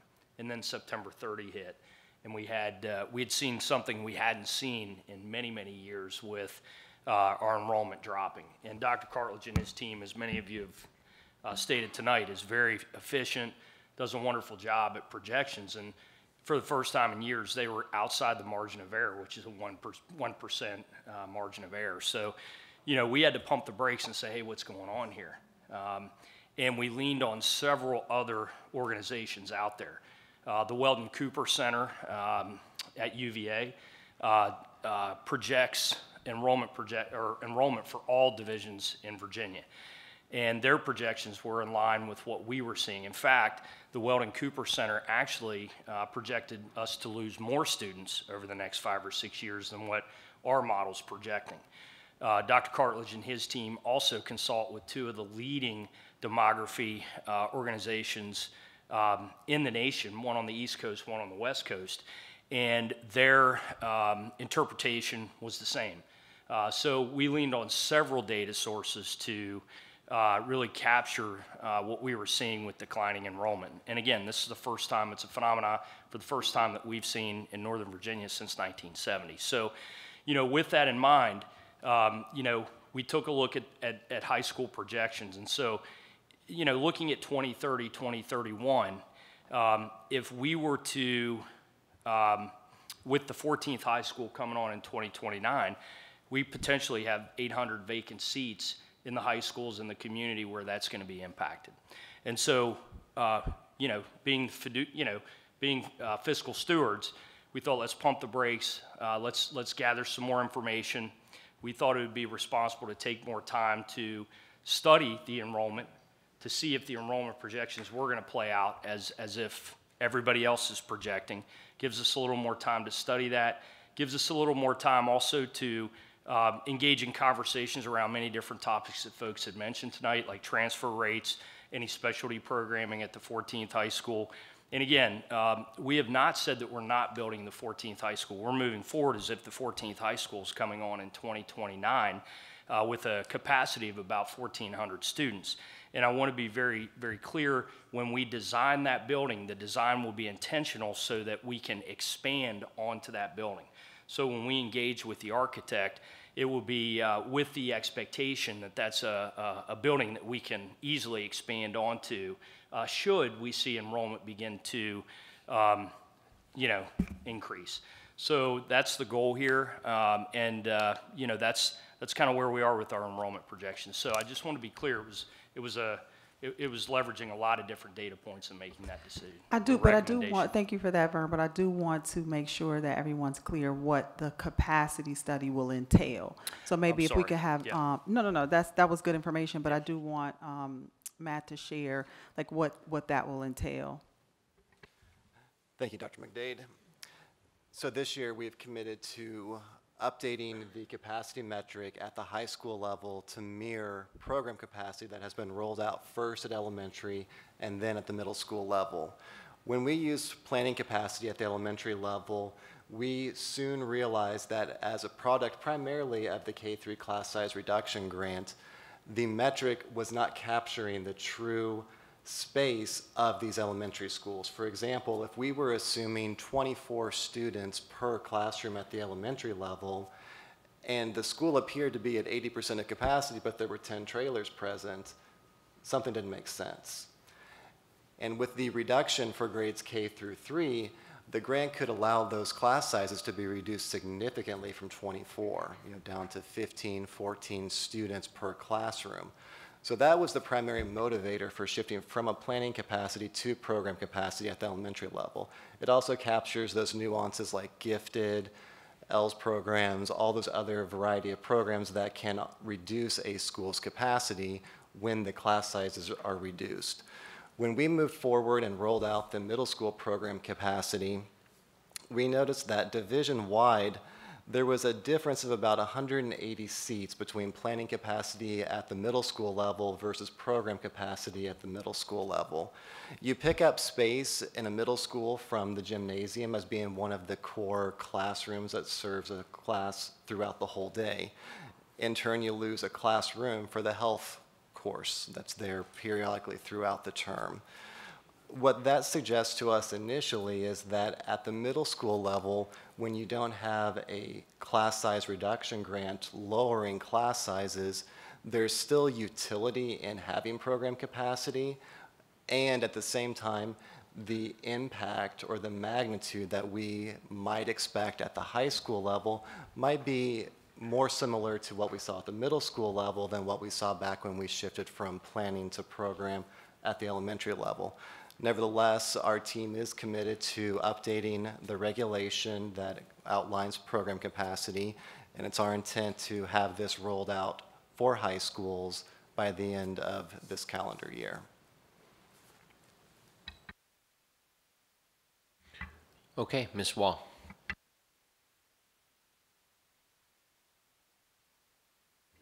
Thank you. That was interesting, and I had forgotten that uh, uh, the, the, piece about the elementary school programming capacity, et cetera, et cetera. Um, so that was good, good to hear that. Um, some of the arguments that I've heard for putting this, uh, since that's the motion that's before us, putting the 14th back on schedule from previous CIPs, proposed CIPs, is um, the methodology of the data, which we talked about a little bit. And I didn't know if there was anything you wanted to add to that um, at this time, but I had a couple of other things, top arguments that I wanted to address. Is there anything you, The only thing I do Wanna add? um, Dr. Cartledge to just, when you, when um, Mr. Bach talked about the Weldon Cooper study, which was only one study, and actually that study was after our team had already done all of the data analysis. And when that study came out, it just really reaffirmed what they had already saw. That study is a a little bit more aggressive, but we believe that our data is even more accurate because uh, Dr. Cartledge and his team has had an opportunity to change the methodology and use data from um, PWCS even resources that gives us more accuracy. So I do want you to just give some visibility into uh, some of the ways that you capture um, data to project enrollment. Yes, thank you, Dr. McDade. So first of all, one of the key enhancements this year is partnering with the Virginia Department of Health and using address level data to identify where past live births occurred and then correlating that with the attendance area to which they're assigned today. As Dr. McDade mentioned, the Weldon Cooper projections that came out months after we projected and in effect validated what we were anticipating. That was kind of the third validation. The first one was with the Lapkoff and Gobalet demographic research firm based out of California. And then the other one was with statistical forecasting. This is the firm that the prior board used to audit PWCS's projection methods back in about 2019. So working with those two independent firms on the redesign of our model assisted in our confidence in moving forward. The statistical forecasting firm, in fact, projected some of our schools so that we could compare our model's projections to what that firm would have projected using all the most current data and the gold standard for projection methods at the K-12 level. Thank you, Dr. Cartledge. thank you. That's very interesting, and I think it's important to note that we, wow, am I too close? That um, we were using our own methodologies that had been new and improved from 2019 and the things that we learned, right? And that we also had been pulling in statistical data from, you said, the Virginia Department of Health. And I remember we had that conversation because it explained some of the things that are happening in my district, schools that are very under capacity, um, next to schools that are very overcrowded, because we were able to narrow down, you know, zoom in on the zip code data. Um, and like the opening of innovation and how we kind of underestimated or we overestimated how many kindergarten classes we were going to need, for instance, and that has implications. It was small, but then we had to move people, et cetera. Um, so I appreciate that a lot, and I think it's important that we understand, you know, we do the best we can with the data that we have, and we have a lot of good folks working on data science for us. Um, my other thing that I've heard a little bit about, and people have come in and talked about, and I'd like to know a little bit more about, is this um, is situation of like rovers um, versus trailers at a school. Um, you know, Battlefield High School, for instance, is at the same percentage capacity as Woodbridge High School right now currently. Um, Battlefield has experienced a precipitous drop in capacity. It used to be at 150% maybe five years ago. Now it's at 103. Those two schools are at 103. Um, but Battlefield has a lot of trailers and Woodbridge does not. And so if I wondered if you could speak to um, the, some of the ways that the division offers schools to deal with the ebb and flow of a few more students. Because as I'm reading the data here, um, Woodbridge High School in the 2023-24 year has an excess, or sorry, as a deficit of 110 seats. But then by just the school year 2025-26 school year, the projection is a deficit of only 20 seats. And then by the 26-27 school year, it would have a surplus of available seats of 64. So this is, this is a little bit of an accordion going on at Woodbridge right now. Um, and yet the school, as I can tell from our data, doesn't have any trailers. So would somebody like to speak to maybe what that is, and maybe give the public an answer or some Sure.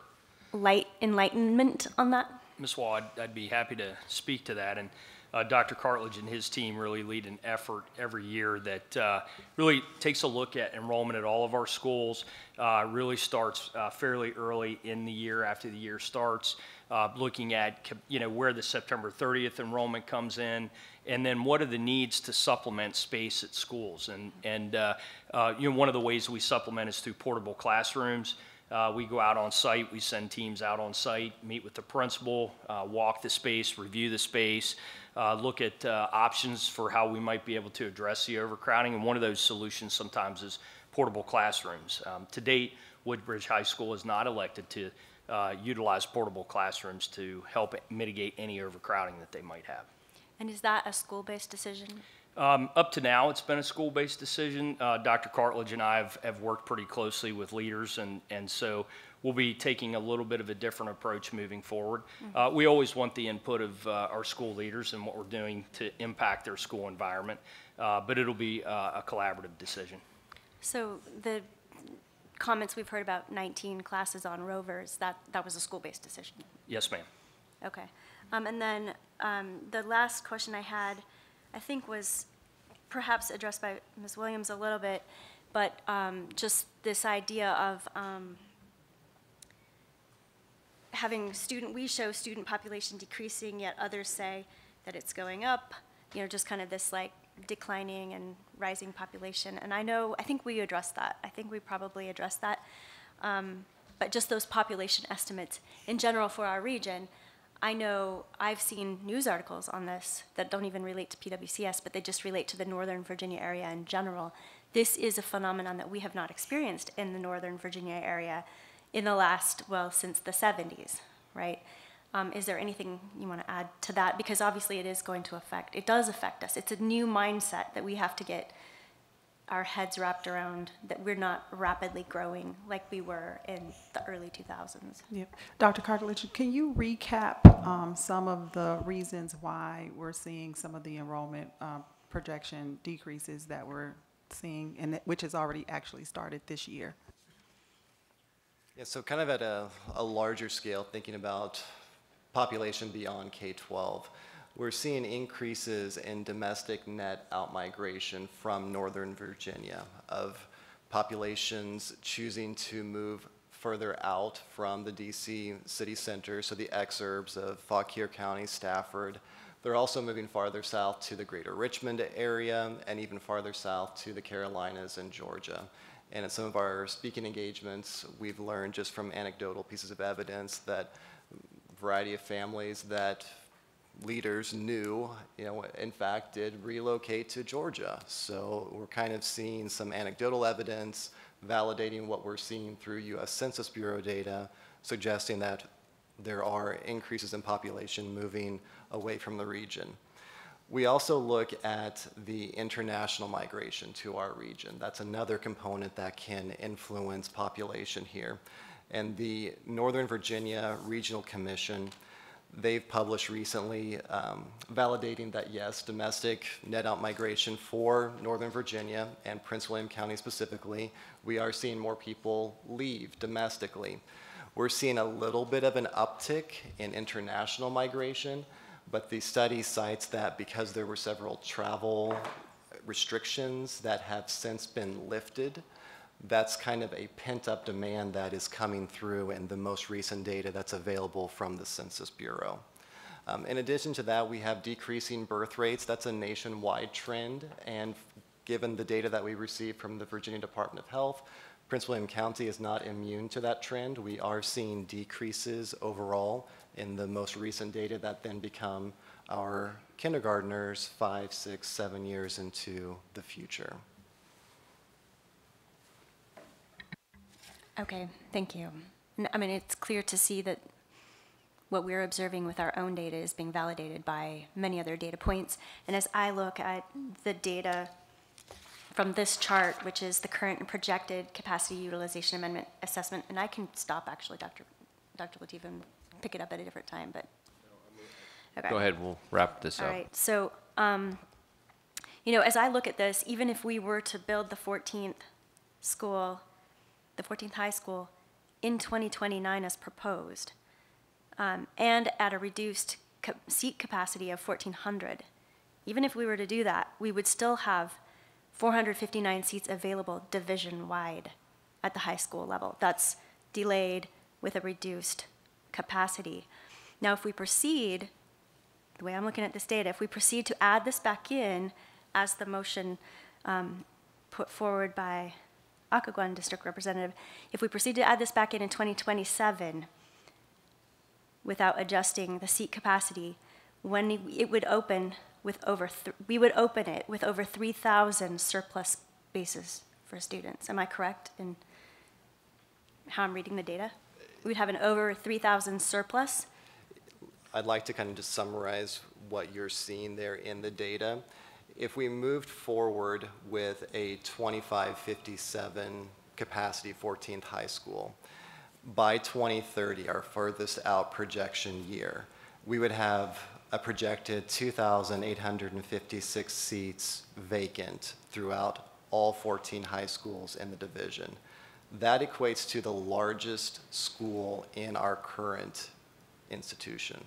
So there'd be more seats empty than we have seats at Garfield. Okay. Wow. If we reduce the capacity to 1,400, then in that 2030 year across the whole division, we would have just under 1,700 vacant seats projected. If we build nothing, and we're not suggesting that, we're, at this point, the data is supporting a delay. But I'm just saying, if nothing were built in 2030, the projections suggest about 300 seats vacant throughout the whole division at the high school level. So uh, redistricting, in theory, if these projections come true, you could effectively balance enrollment across the whole district. Okay. That, that's really interesting and, and something to think about.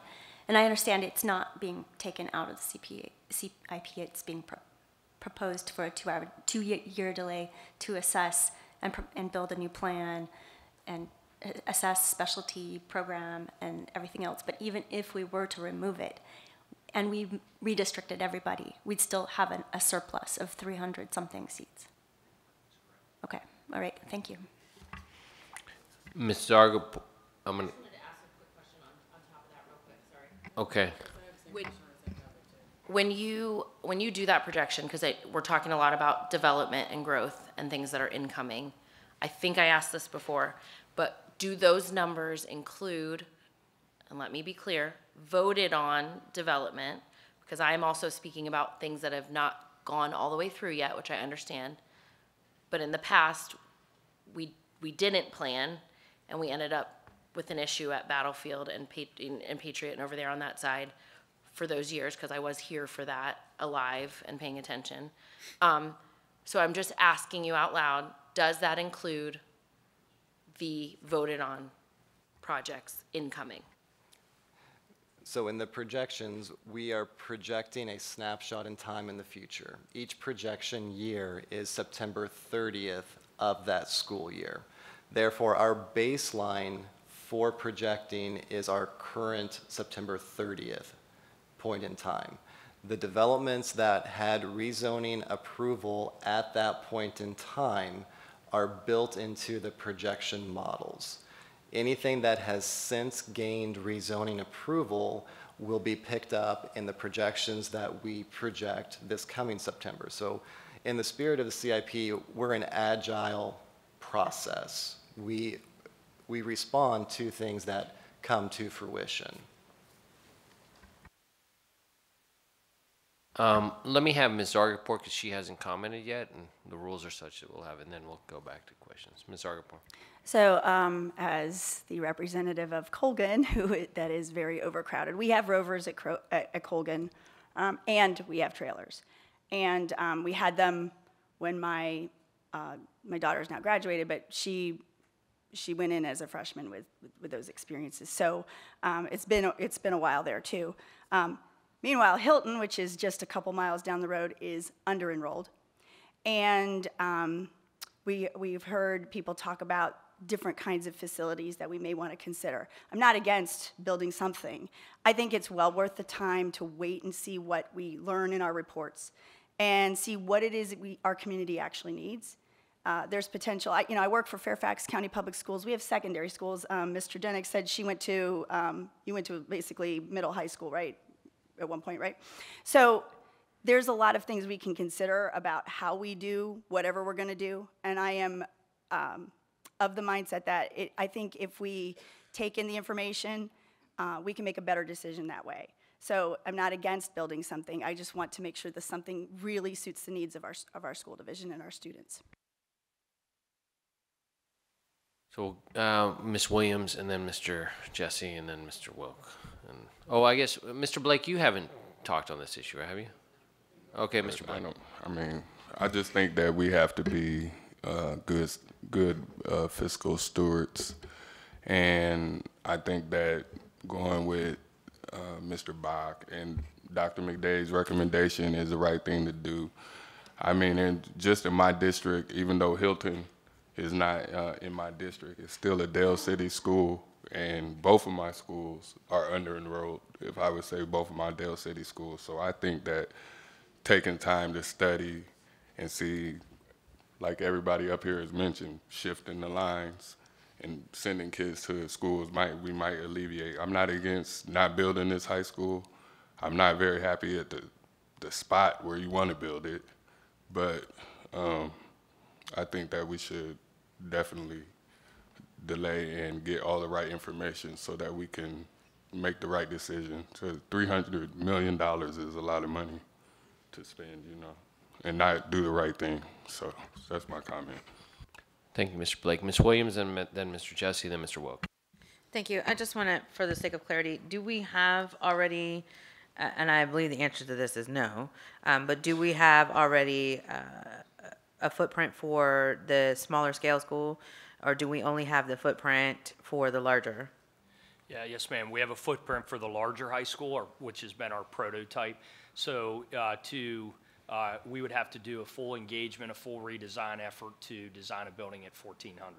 And so we do not have that at this point. Okay, so that's also part of what extends out the process. Yes, ma'am. Should the board decide on budget uh, approval night that we, whatever, I'm just theoretically change our mind, we do the 25, it would condense the amount of time to actually build the school because we already have the plan, correct? Yes, ma'am, it would.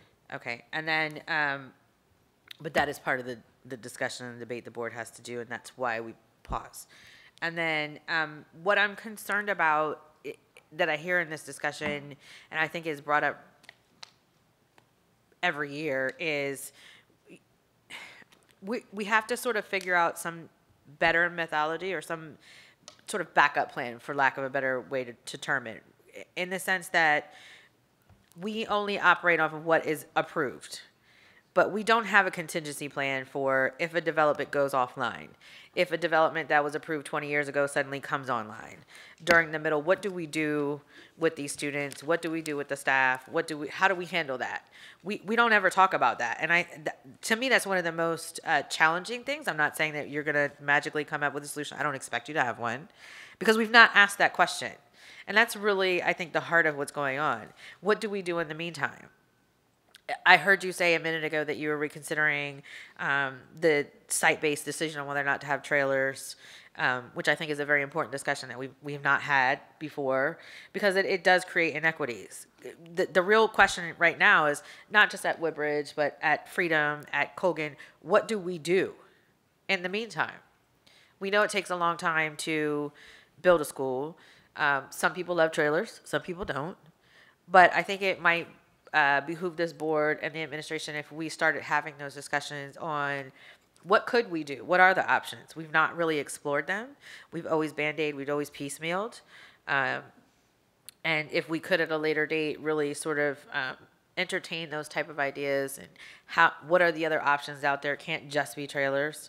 Maybe it is. I don't know. You know, maybe maybe it's temporarily moving students. I'm not advocating for that. I'm just saying we haven't done that maybe it's time to consider that in the future for when we have these issues. Because uh, again, 3,000 students, 1990, Hylton opened 1991. We lost a bunch of programs. Some of them never came back. Some of them just came back now. We, we don't have a, a plan for that. So I think it might be smart as we move down the line to start having those conversations.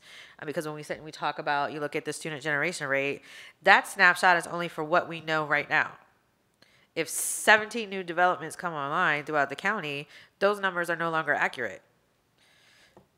It's true. So it's helpful that our CIP and our budget is a living document.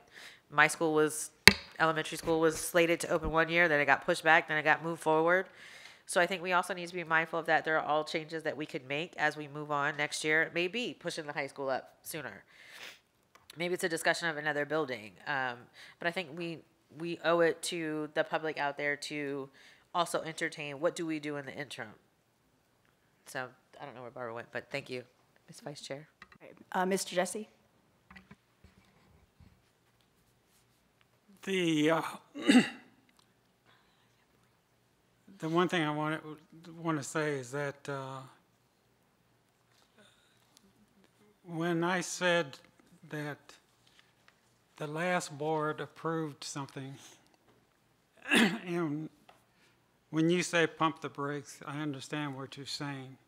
What I'm saying, I want to make very clear, is that when the brakes are pumped on something that has been approved that is of significance, and when you talk about schools at $300,000, a million dollars, and renovations that are very expensive, the board should have a, a special meeting to decide whether the brakes should be pumped, because what happened, if I understand it correctly, is that uh, the plans were going forward on the 14th high school and the brakes were pumped, correct? Well, when I, when I referred to the brakes being pumped, that was with engagement with the board. With the engagement with the board, by two, when, on your two and two meetings is not, uh, is, you overrode a decision from the previous board. Okay, and you can look at Dr. McDade or, I think, but Uh, you so I- I did think that's a- overrule. Yeah, let, let's have Dr. McDade answer that, Mr. Jessie. That's actually, I mean, it's really for the board to respond to because we don't have the authority to overrule the board. There's nothing that I can do or anyone on the staff can do without permission from the board. So we don't have that authority. So, I mean, I, I don't think that that's a question for us. I, I think I would defer that to, uh, the school board because there's never been a time in my administration that I have done anything without, um, going seek, first seeking the board's, um, support. So that's a question for the full board to address. And I, I'll leave it alone after this. What you just said is that you never do anything without going to the board. Going to the board on two and two meetings and so, and so forth, something as significant as these delays should have been, in my opinion, brought back to the entire board in a meeting and voted on. And it was not, so I'll, I'll leave it at that. Uh, just The- clarification, Mr. Jessie, this is what we're doing today. So if the board No, so no. cho, if the board so chose to vote to proceed and not have the delay, that can be done tonight. So that we are doing that, and the, pro- No, this is a no. proposed budget, a proposed CIP. This is proposed. The superintendent explained the development of the proposal to the board, but this is the vote. This is what we're talking about tonight. And Dr. McDade, I, you know, I fully understand that, but you're missing the point. When the project was delayed before this vote, and I have no problems within the middle of the year that we say we need to stop and we need to pump the brakes. But on a project that has been approved by the previous board, you stopped it and the board did not give official approval. Now, the problem with that is that this is the eighth delay. The community is getting to the point where we don't trust you. We don't trust the board. Because every time we look around, this high school got pushed back. The first time, the first two or three times, it was because the location over on the other side of near Hoadly Road and so forth, the community didn't want it. So two or three times it was delayed. But now it's delayed. We have no confidence in our board that we're not going to delay it again. And in the meantime, Woodbridge High School is needing relief. They say Garfield High School doesn't need it, but we do, okay? And uh, so that so that's that's just my point. And you agree with it I, I, or not? That's but I just want to make that. The other thing is when we look,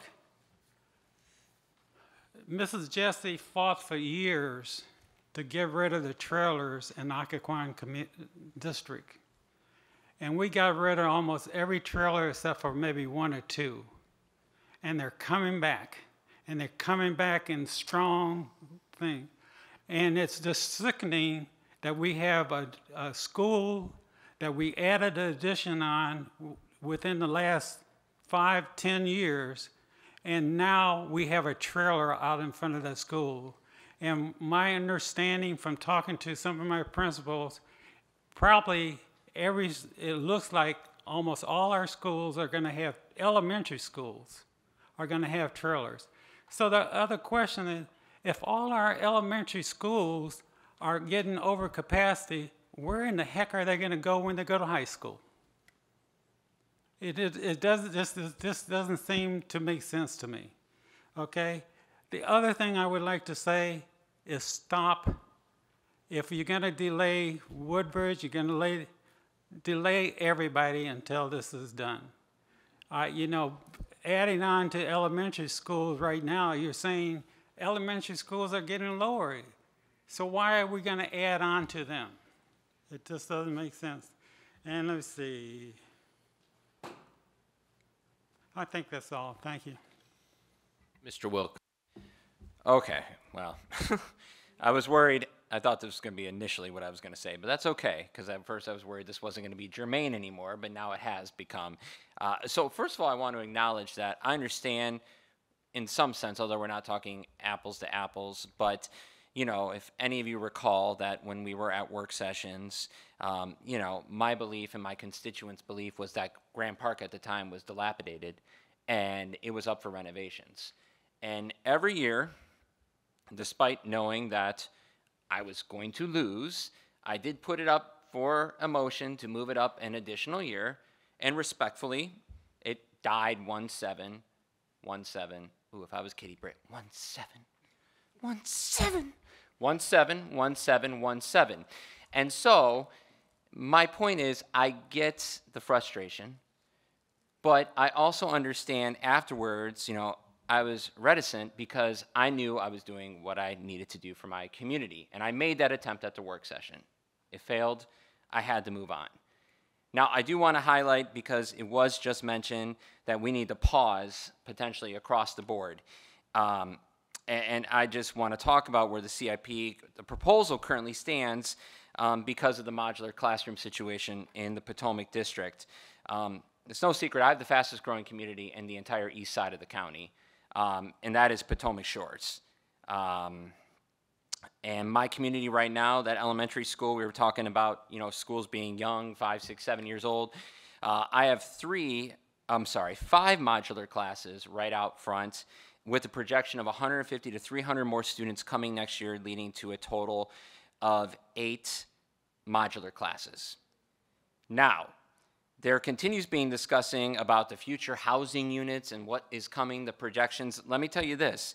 So currently right now, and I talked to the head developer there, there are 2,152 residential units in Potomac Shores. Right now, right now, if we opened up an elementary school back there, it would fill traditional size. We are anticipating by the time this is done, 3,987 residential places, whether it be uh, single family homes, single family townhomes, condos, luxury villas, whatever. But we are looking at just under 4,000 students. So this proposed CIP, which has this moving up year, which has always been the plan, does free and alleviate space over 250 to 300 million for projects like this in areas that need it. It also frees up additional funding for other things like renovations. I think Graham Park could get some additional support. I mean, heck, in a dream scenario, and like we all might have these dream scenarios, I'd love money to go to Dumfries Elementary for renovations, but that's not where we're at, right? So we can't pause right now. The stark contrast of what we're talking about here, you can see it going down Riverview Drive and Potomac Shores. There is nowhere for people to go. It's bustling, it's overcrowded, now, quickly touching on the high schools, everyone has thrown out there about their high schools, their statement. Forest Park is at 112% capacity, right? It's overcrowded. It has three trailers to help alleviate the overcrowding. On the other end, I have a high school that is under capacity, and for the foreseeable future, that building is going to be under capacity, which in effect could impact things like equity pro, not equity programs, specialty programs, in other different areas that, you know, if we had a full building, we can maybe do, uh, different course offerings and such. So I see the situation, you know, to follow the proposals and look at potentially putting um, additions onto our existing buildings where it's needed most. And as I think has been kind of uh, reiterated here by multiple board members, look at these glaring boundary issues to fill the number of buildings that are under capacity right now um, at this time. So that is my piece. Thank you. Um, Ms. Wall, this is your last time. Okay. Thanks. Um, I um, wanted to address something a little bit, um, just kind of bigger picture about schools and construction and students, um, the, the driver of a new school is need. It's not that it was in a document or that it was promised or anything else.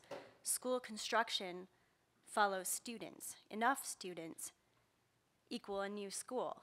And obviously, you can't build a new school if you have all the neighboring schools at approximately 100% capacity. You have to have a, a large enough surplus in order to justify the building and filling of a new school, or else you, you potentially decimate the neighboring schools.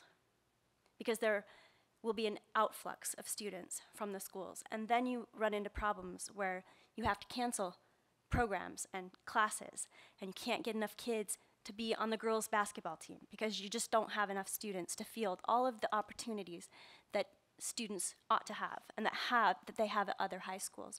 So I think we need to keep in mind that yes, if you have housing developments and you have an, an, a, an increase in students, then you then you justify a new school, but you don't justify it just because it's somebody's turn or it was promised in the past. And things do change, as we've seen in our region.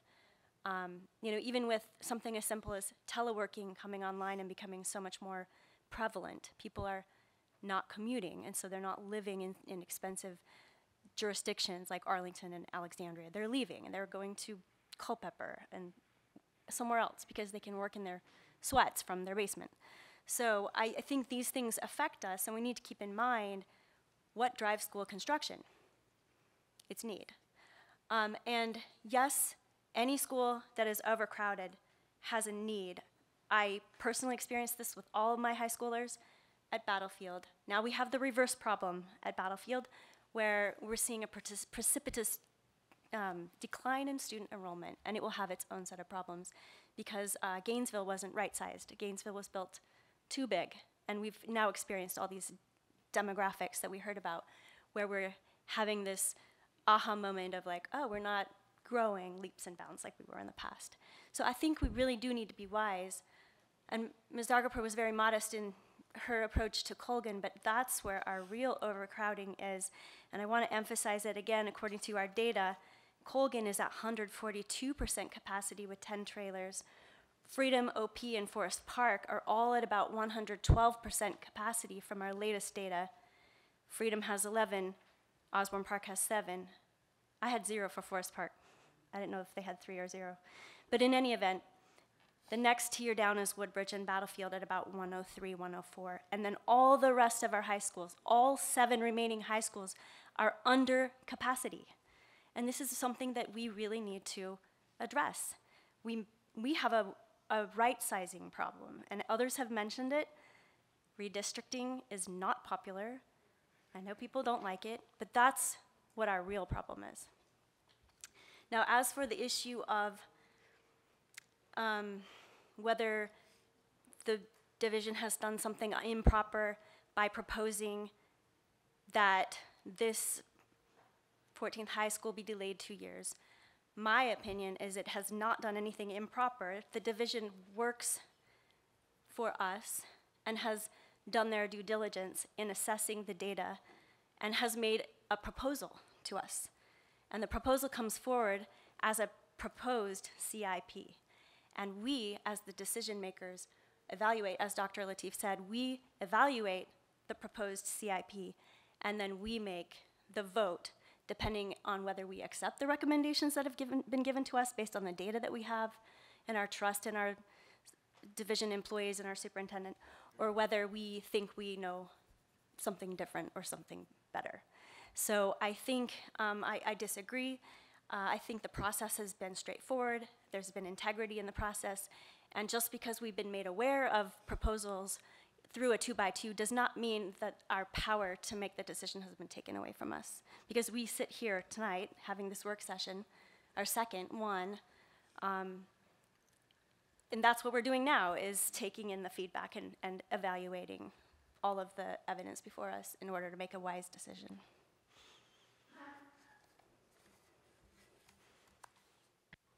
Okay, um, so I'll reserve my comments for last. I, I will not be supporting Mr. Jessie's motion, and I'll tell you why. Uh, so first and foremost, uh, to add on to what Ms. Wall said, um, the process, um, as Dr. McDade and the, um, her office and her administration receives data, they uh, analyze the data and they share the data with the board, and they do it through numerous mechanisms. And the decision to um, after the analysis to make a recommendation for the CIP or for the budget for that matter, for the big budget, which is about 1.8 some billion dollars, um, is a proposal. It's called the superintendent's proposed budget. And all the power to approve the budget is vested in the full authority of this board at all times. And so she makes her recommendations, she communicates the recommendations in many different methods and the board has been made aware of this proposal and all that went into making the proposal of delaying it. We had a uh, one hour specifically in the last CIP work session just dedicated to the enrollment trends and the concerns and all of that that went into it. So this hasn't come lightly. Um, I, I, think it's important to know that the superintendent's office and, and the administration is well aware of um, the concerns of the community I have heard the folks in the community. I understand their disappointment and concerns about overcrowding. Um, as chairman at large, I have to deal with overcrowding across the county and undercrowding. I have a school at Hylton which is way under capacity that might get dropped from the Virginia High School League's Division Six to a lower division.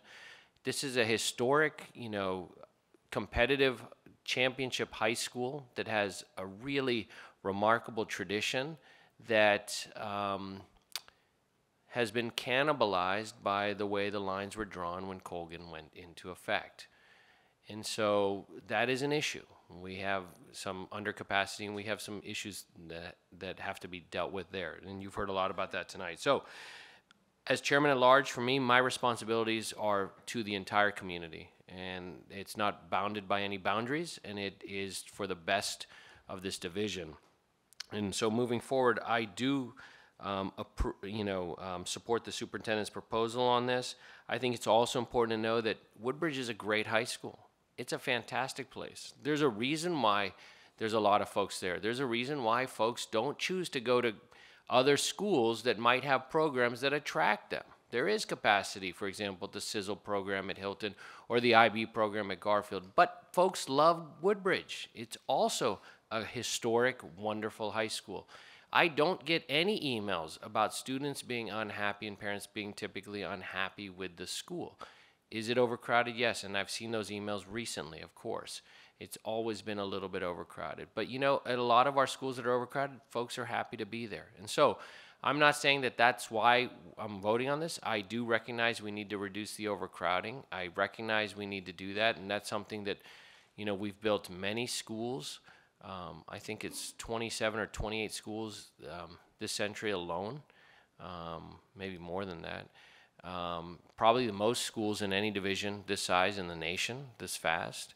Um, and so we have tried to keep up, but the enrollment numbers are concerning. You know, the last thing I want to do is be closing schools. And so, you know, we, we don't want to have to deal with that, but we, we have to be thoughtful and methodical about this. So if we do move to a 1500, 1400 model, that in and of itself puts a delay in it.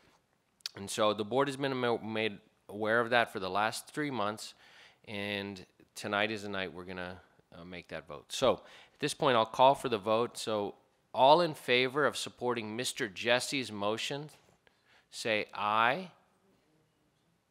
What? We don't have to remake the motion. It's been seconded. Okay, Mr. Jessie's motion is, um, Mr. Jessie's motion is to, um, he moved that we do not delay the 14th high school. So all in favor of Mr. Jessie's motion to not delay the high school, say aye, or raise your hand. Okay, let the record show Mr. Jessie votes aye. Okay, all opposed? And that leaves seven votes. All other members vote no. Motion fails.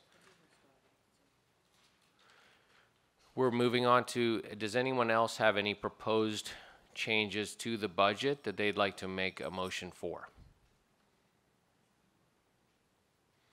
As seeing none, we will now move to the next part of the meeting, and that is, so, so th- this, you know, marks the end of the work session, and, um, Dr. Lutz, Yeah. Mr. Chairman, I think you had one hand up for um, some questions. y- sure. I'm sorry. So again, I, I am new here, so I have not done a budget session with you all before. I, I had questions and I, now I know for next year, I will send them ahead of time. I do think that these are important questions that people in my district have asked in the past, and I just wanted them answered on the record. And I think that if I can quickly ask these at a high level to explain some things, I think that's gonna be helpful. Um, so sorry, I know we sat here for an hour discussing, but, um, that's, yeah, Justin.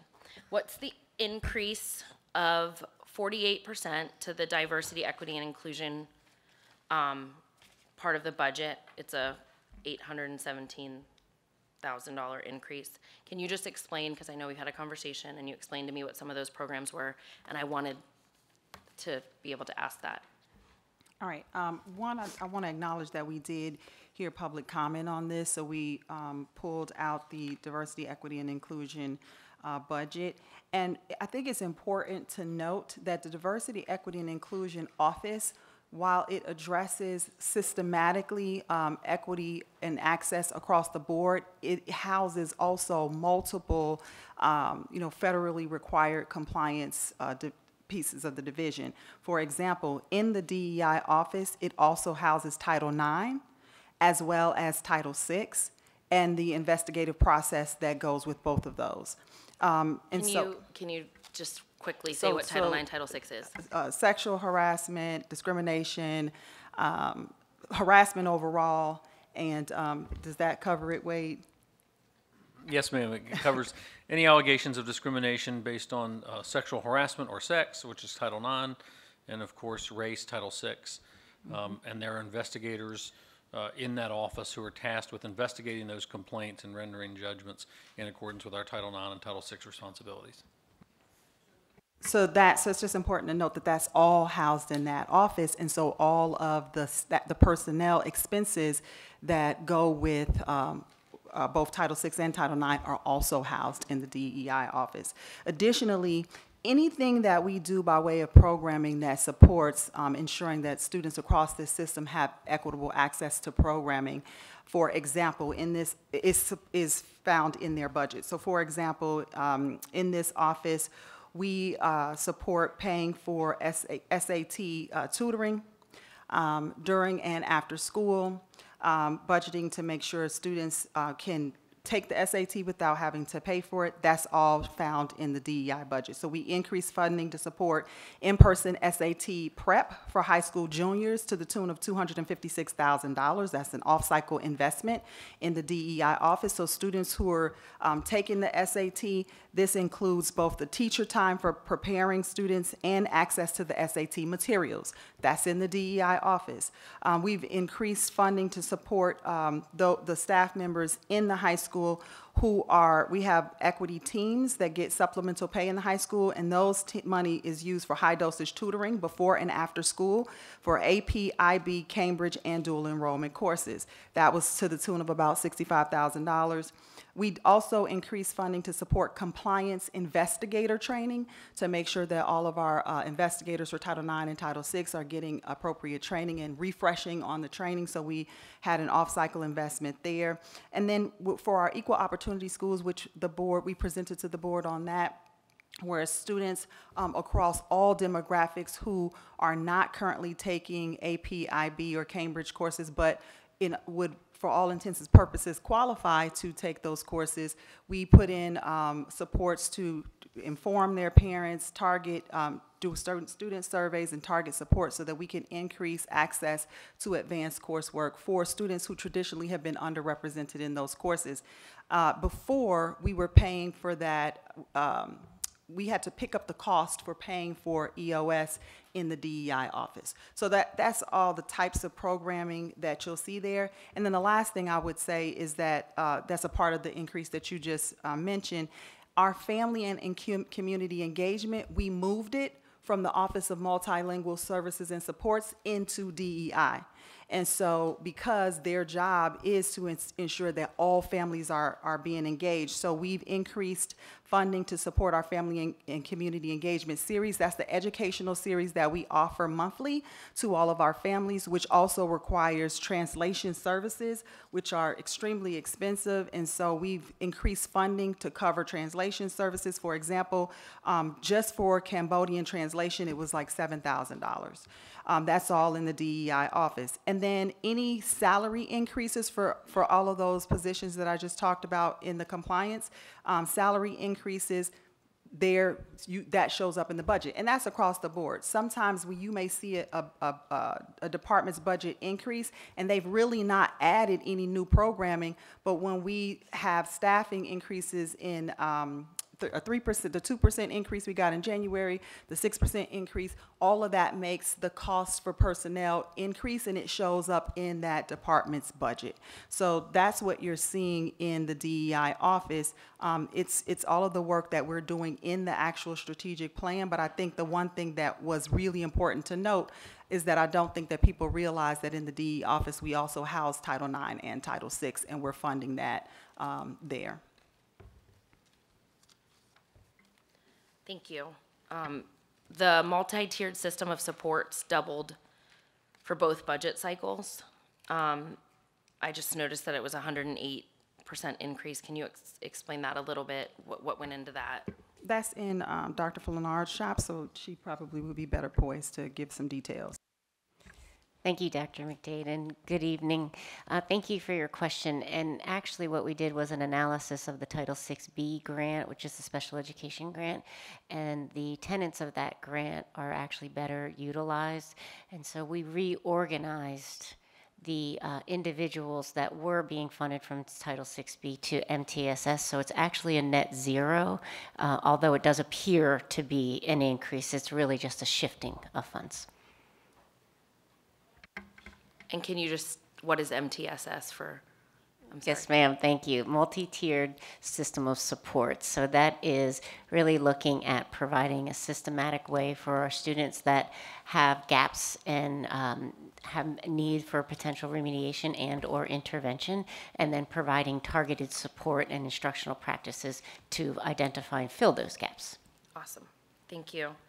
Um, see, again, I'm not a, I'm not a mathematician, but I can see where there's increases and decreases, so that's what I was looking at. This, um, summer school, I noticed, went down by forty percent, which, you know, I like savings, but I'm also wondering, was there not as much demand, or what was? Again, that is a really good question because on the onset, it does look like there was a decrease. We didn't have a decrease in the students. What we're able to do is capitalize on the ESSER dollars to utilize those towards summer school funds, so that way we can better use our funds. Great. And then one more I noticed, it's um, also in my district, the governor's school increased um, by 65%. Is that due to enrollment or? um, It's a combination of stuff. Um, in the twenty-four budget, the governor's school drew down on their fund balance. They had fund balance and, uh, there was, it was growing, so in lieu of us contributing, the city of Manassas and city of Manassas Park making contributions, we used fund balance. And then, yes, there is an increase in, um, in, in, in, in some of the enrollment, but it's mainly due to that. And so in 2025, we had to restore our funding because there was no fund balance. Thank you. Thank you. J- uh, appreciate it. Um, Any other questions, comments, concerns? Okay. Um, Just for, for clarification, Dr. McDade uh, or or Shaquille, um, if we do get extra monies on the state budget, if that gets approved, are those baseline increases or are they one-time dollars? Does anyone know? That's a good question. Depending on the, the nature, so there's compensation supplements and uh, the, the grocery tax. You could consider those baseline adjustments. One of the things I alluded to earlier on was that without the VDOE E calculation templates, Yeah. we really can't determine what, uh, what our match is supposed to be. But uh, I would say the majority of that would, would help with our baseline. Okay, wonderful. Okay, well, that's, that's great to know, because if we, if we do come back and we have to look at some of the um, other things that support the strategic plan, we'll have an idea of what we can use that money for, especially if it's uh, baseline adjusted. That's always better than the one-time. Okay, wonderful. Okay, at this point, now, uh, there being no further other um, questions, concerns, Ms. Zargarpur, you- you have your hand on the button? You're good, okay. Okay. um, Oh, we need a motion. So at this point, we, we call for a vote to typically accept the budget as presented or with changes. We, there hasn't been any changes as presented. And then, like I said, you'll go to the board meeting. We'll hear the budget. We'll have a presentation at the meeting again. You're not bound by today's vote if you're supporting the budget. You can certainly change there. Um, but typically, this is where we have the final questions. If anything changes in the next week, you certainly have time to ask questions to the staff, ask clarifications.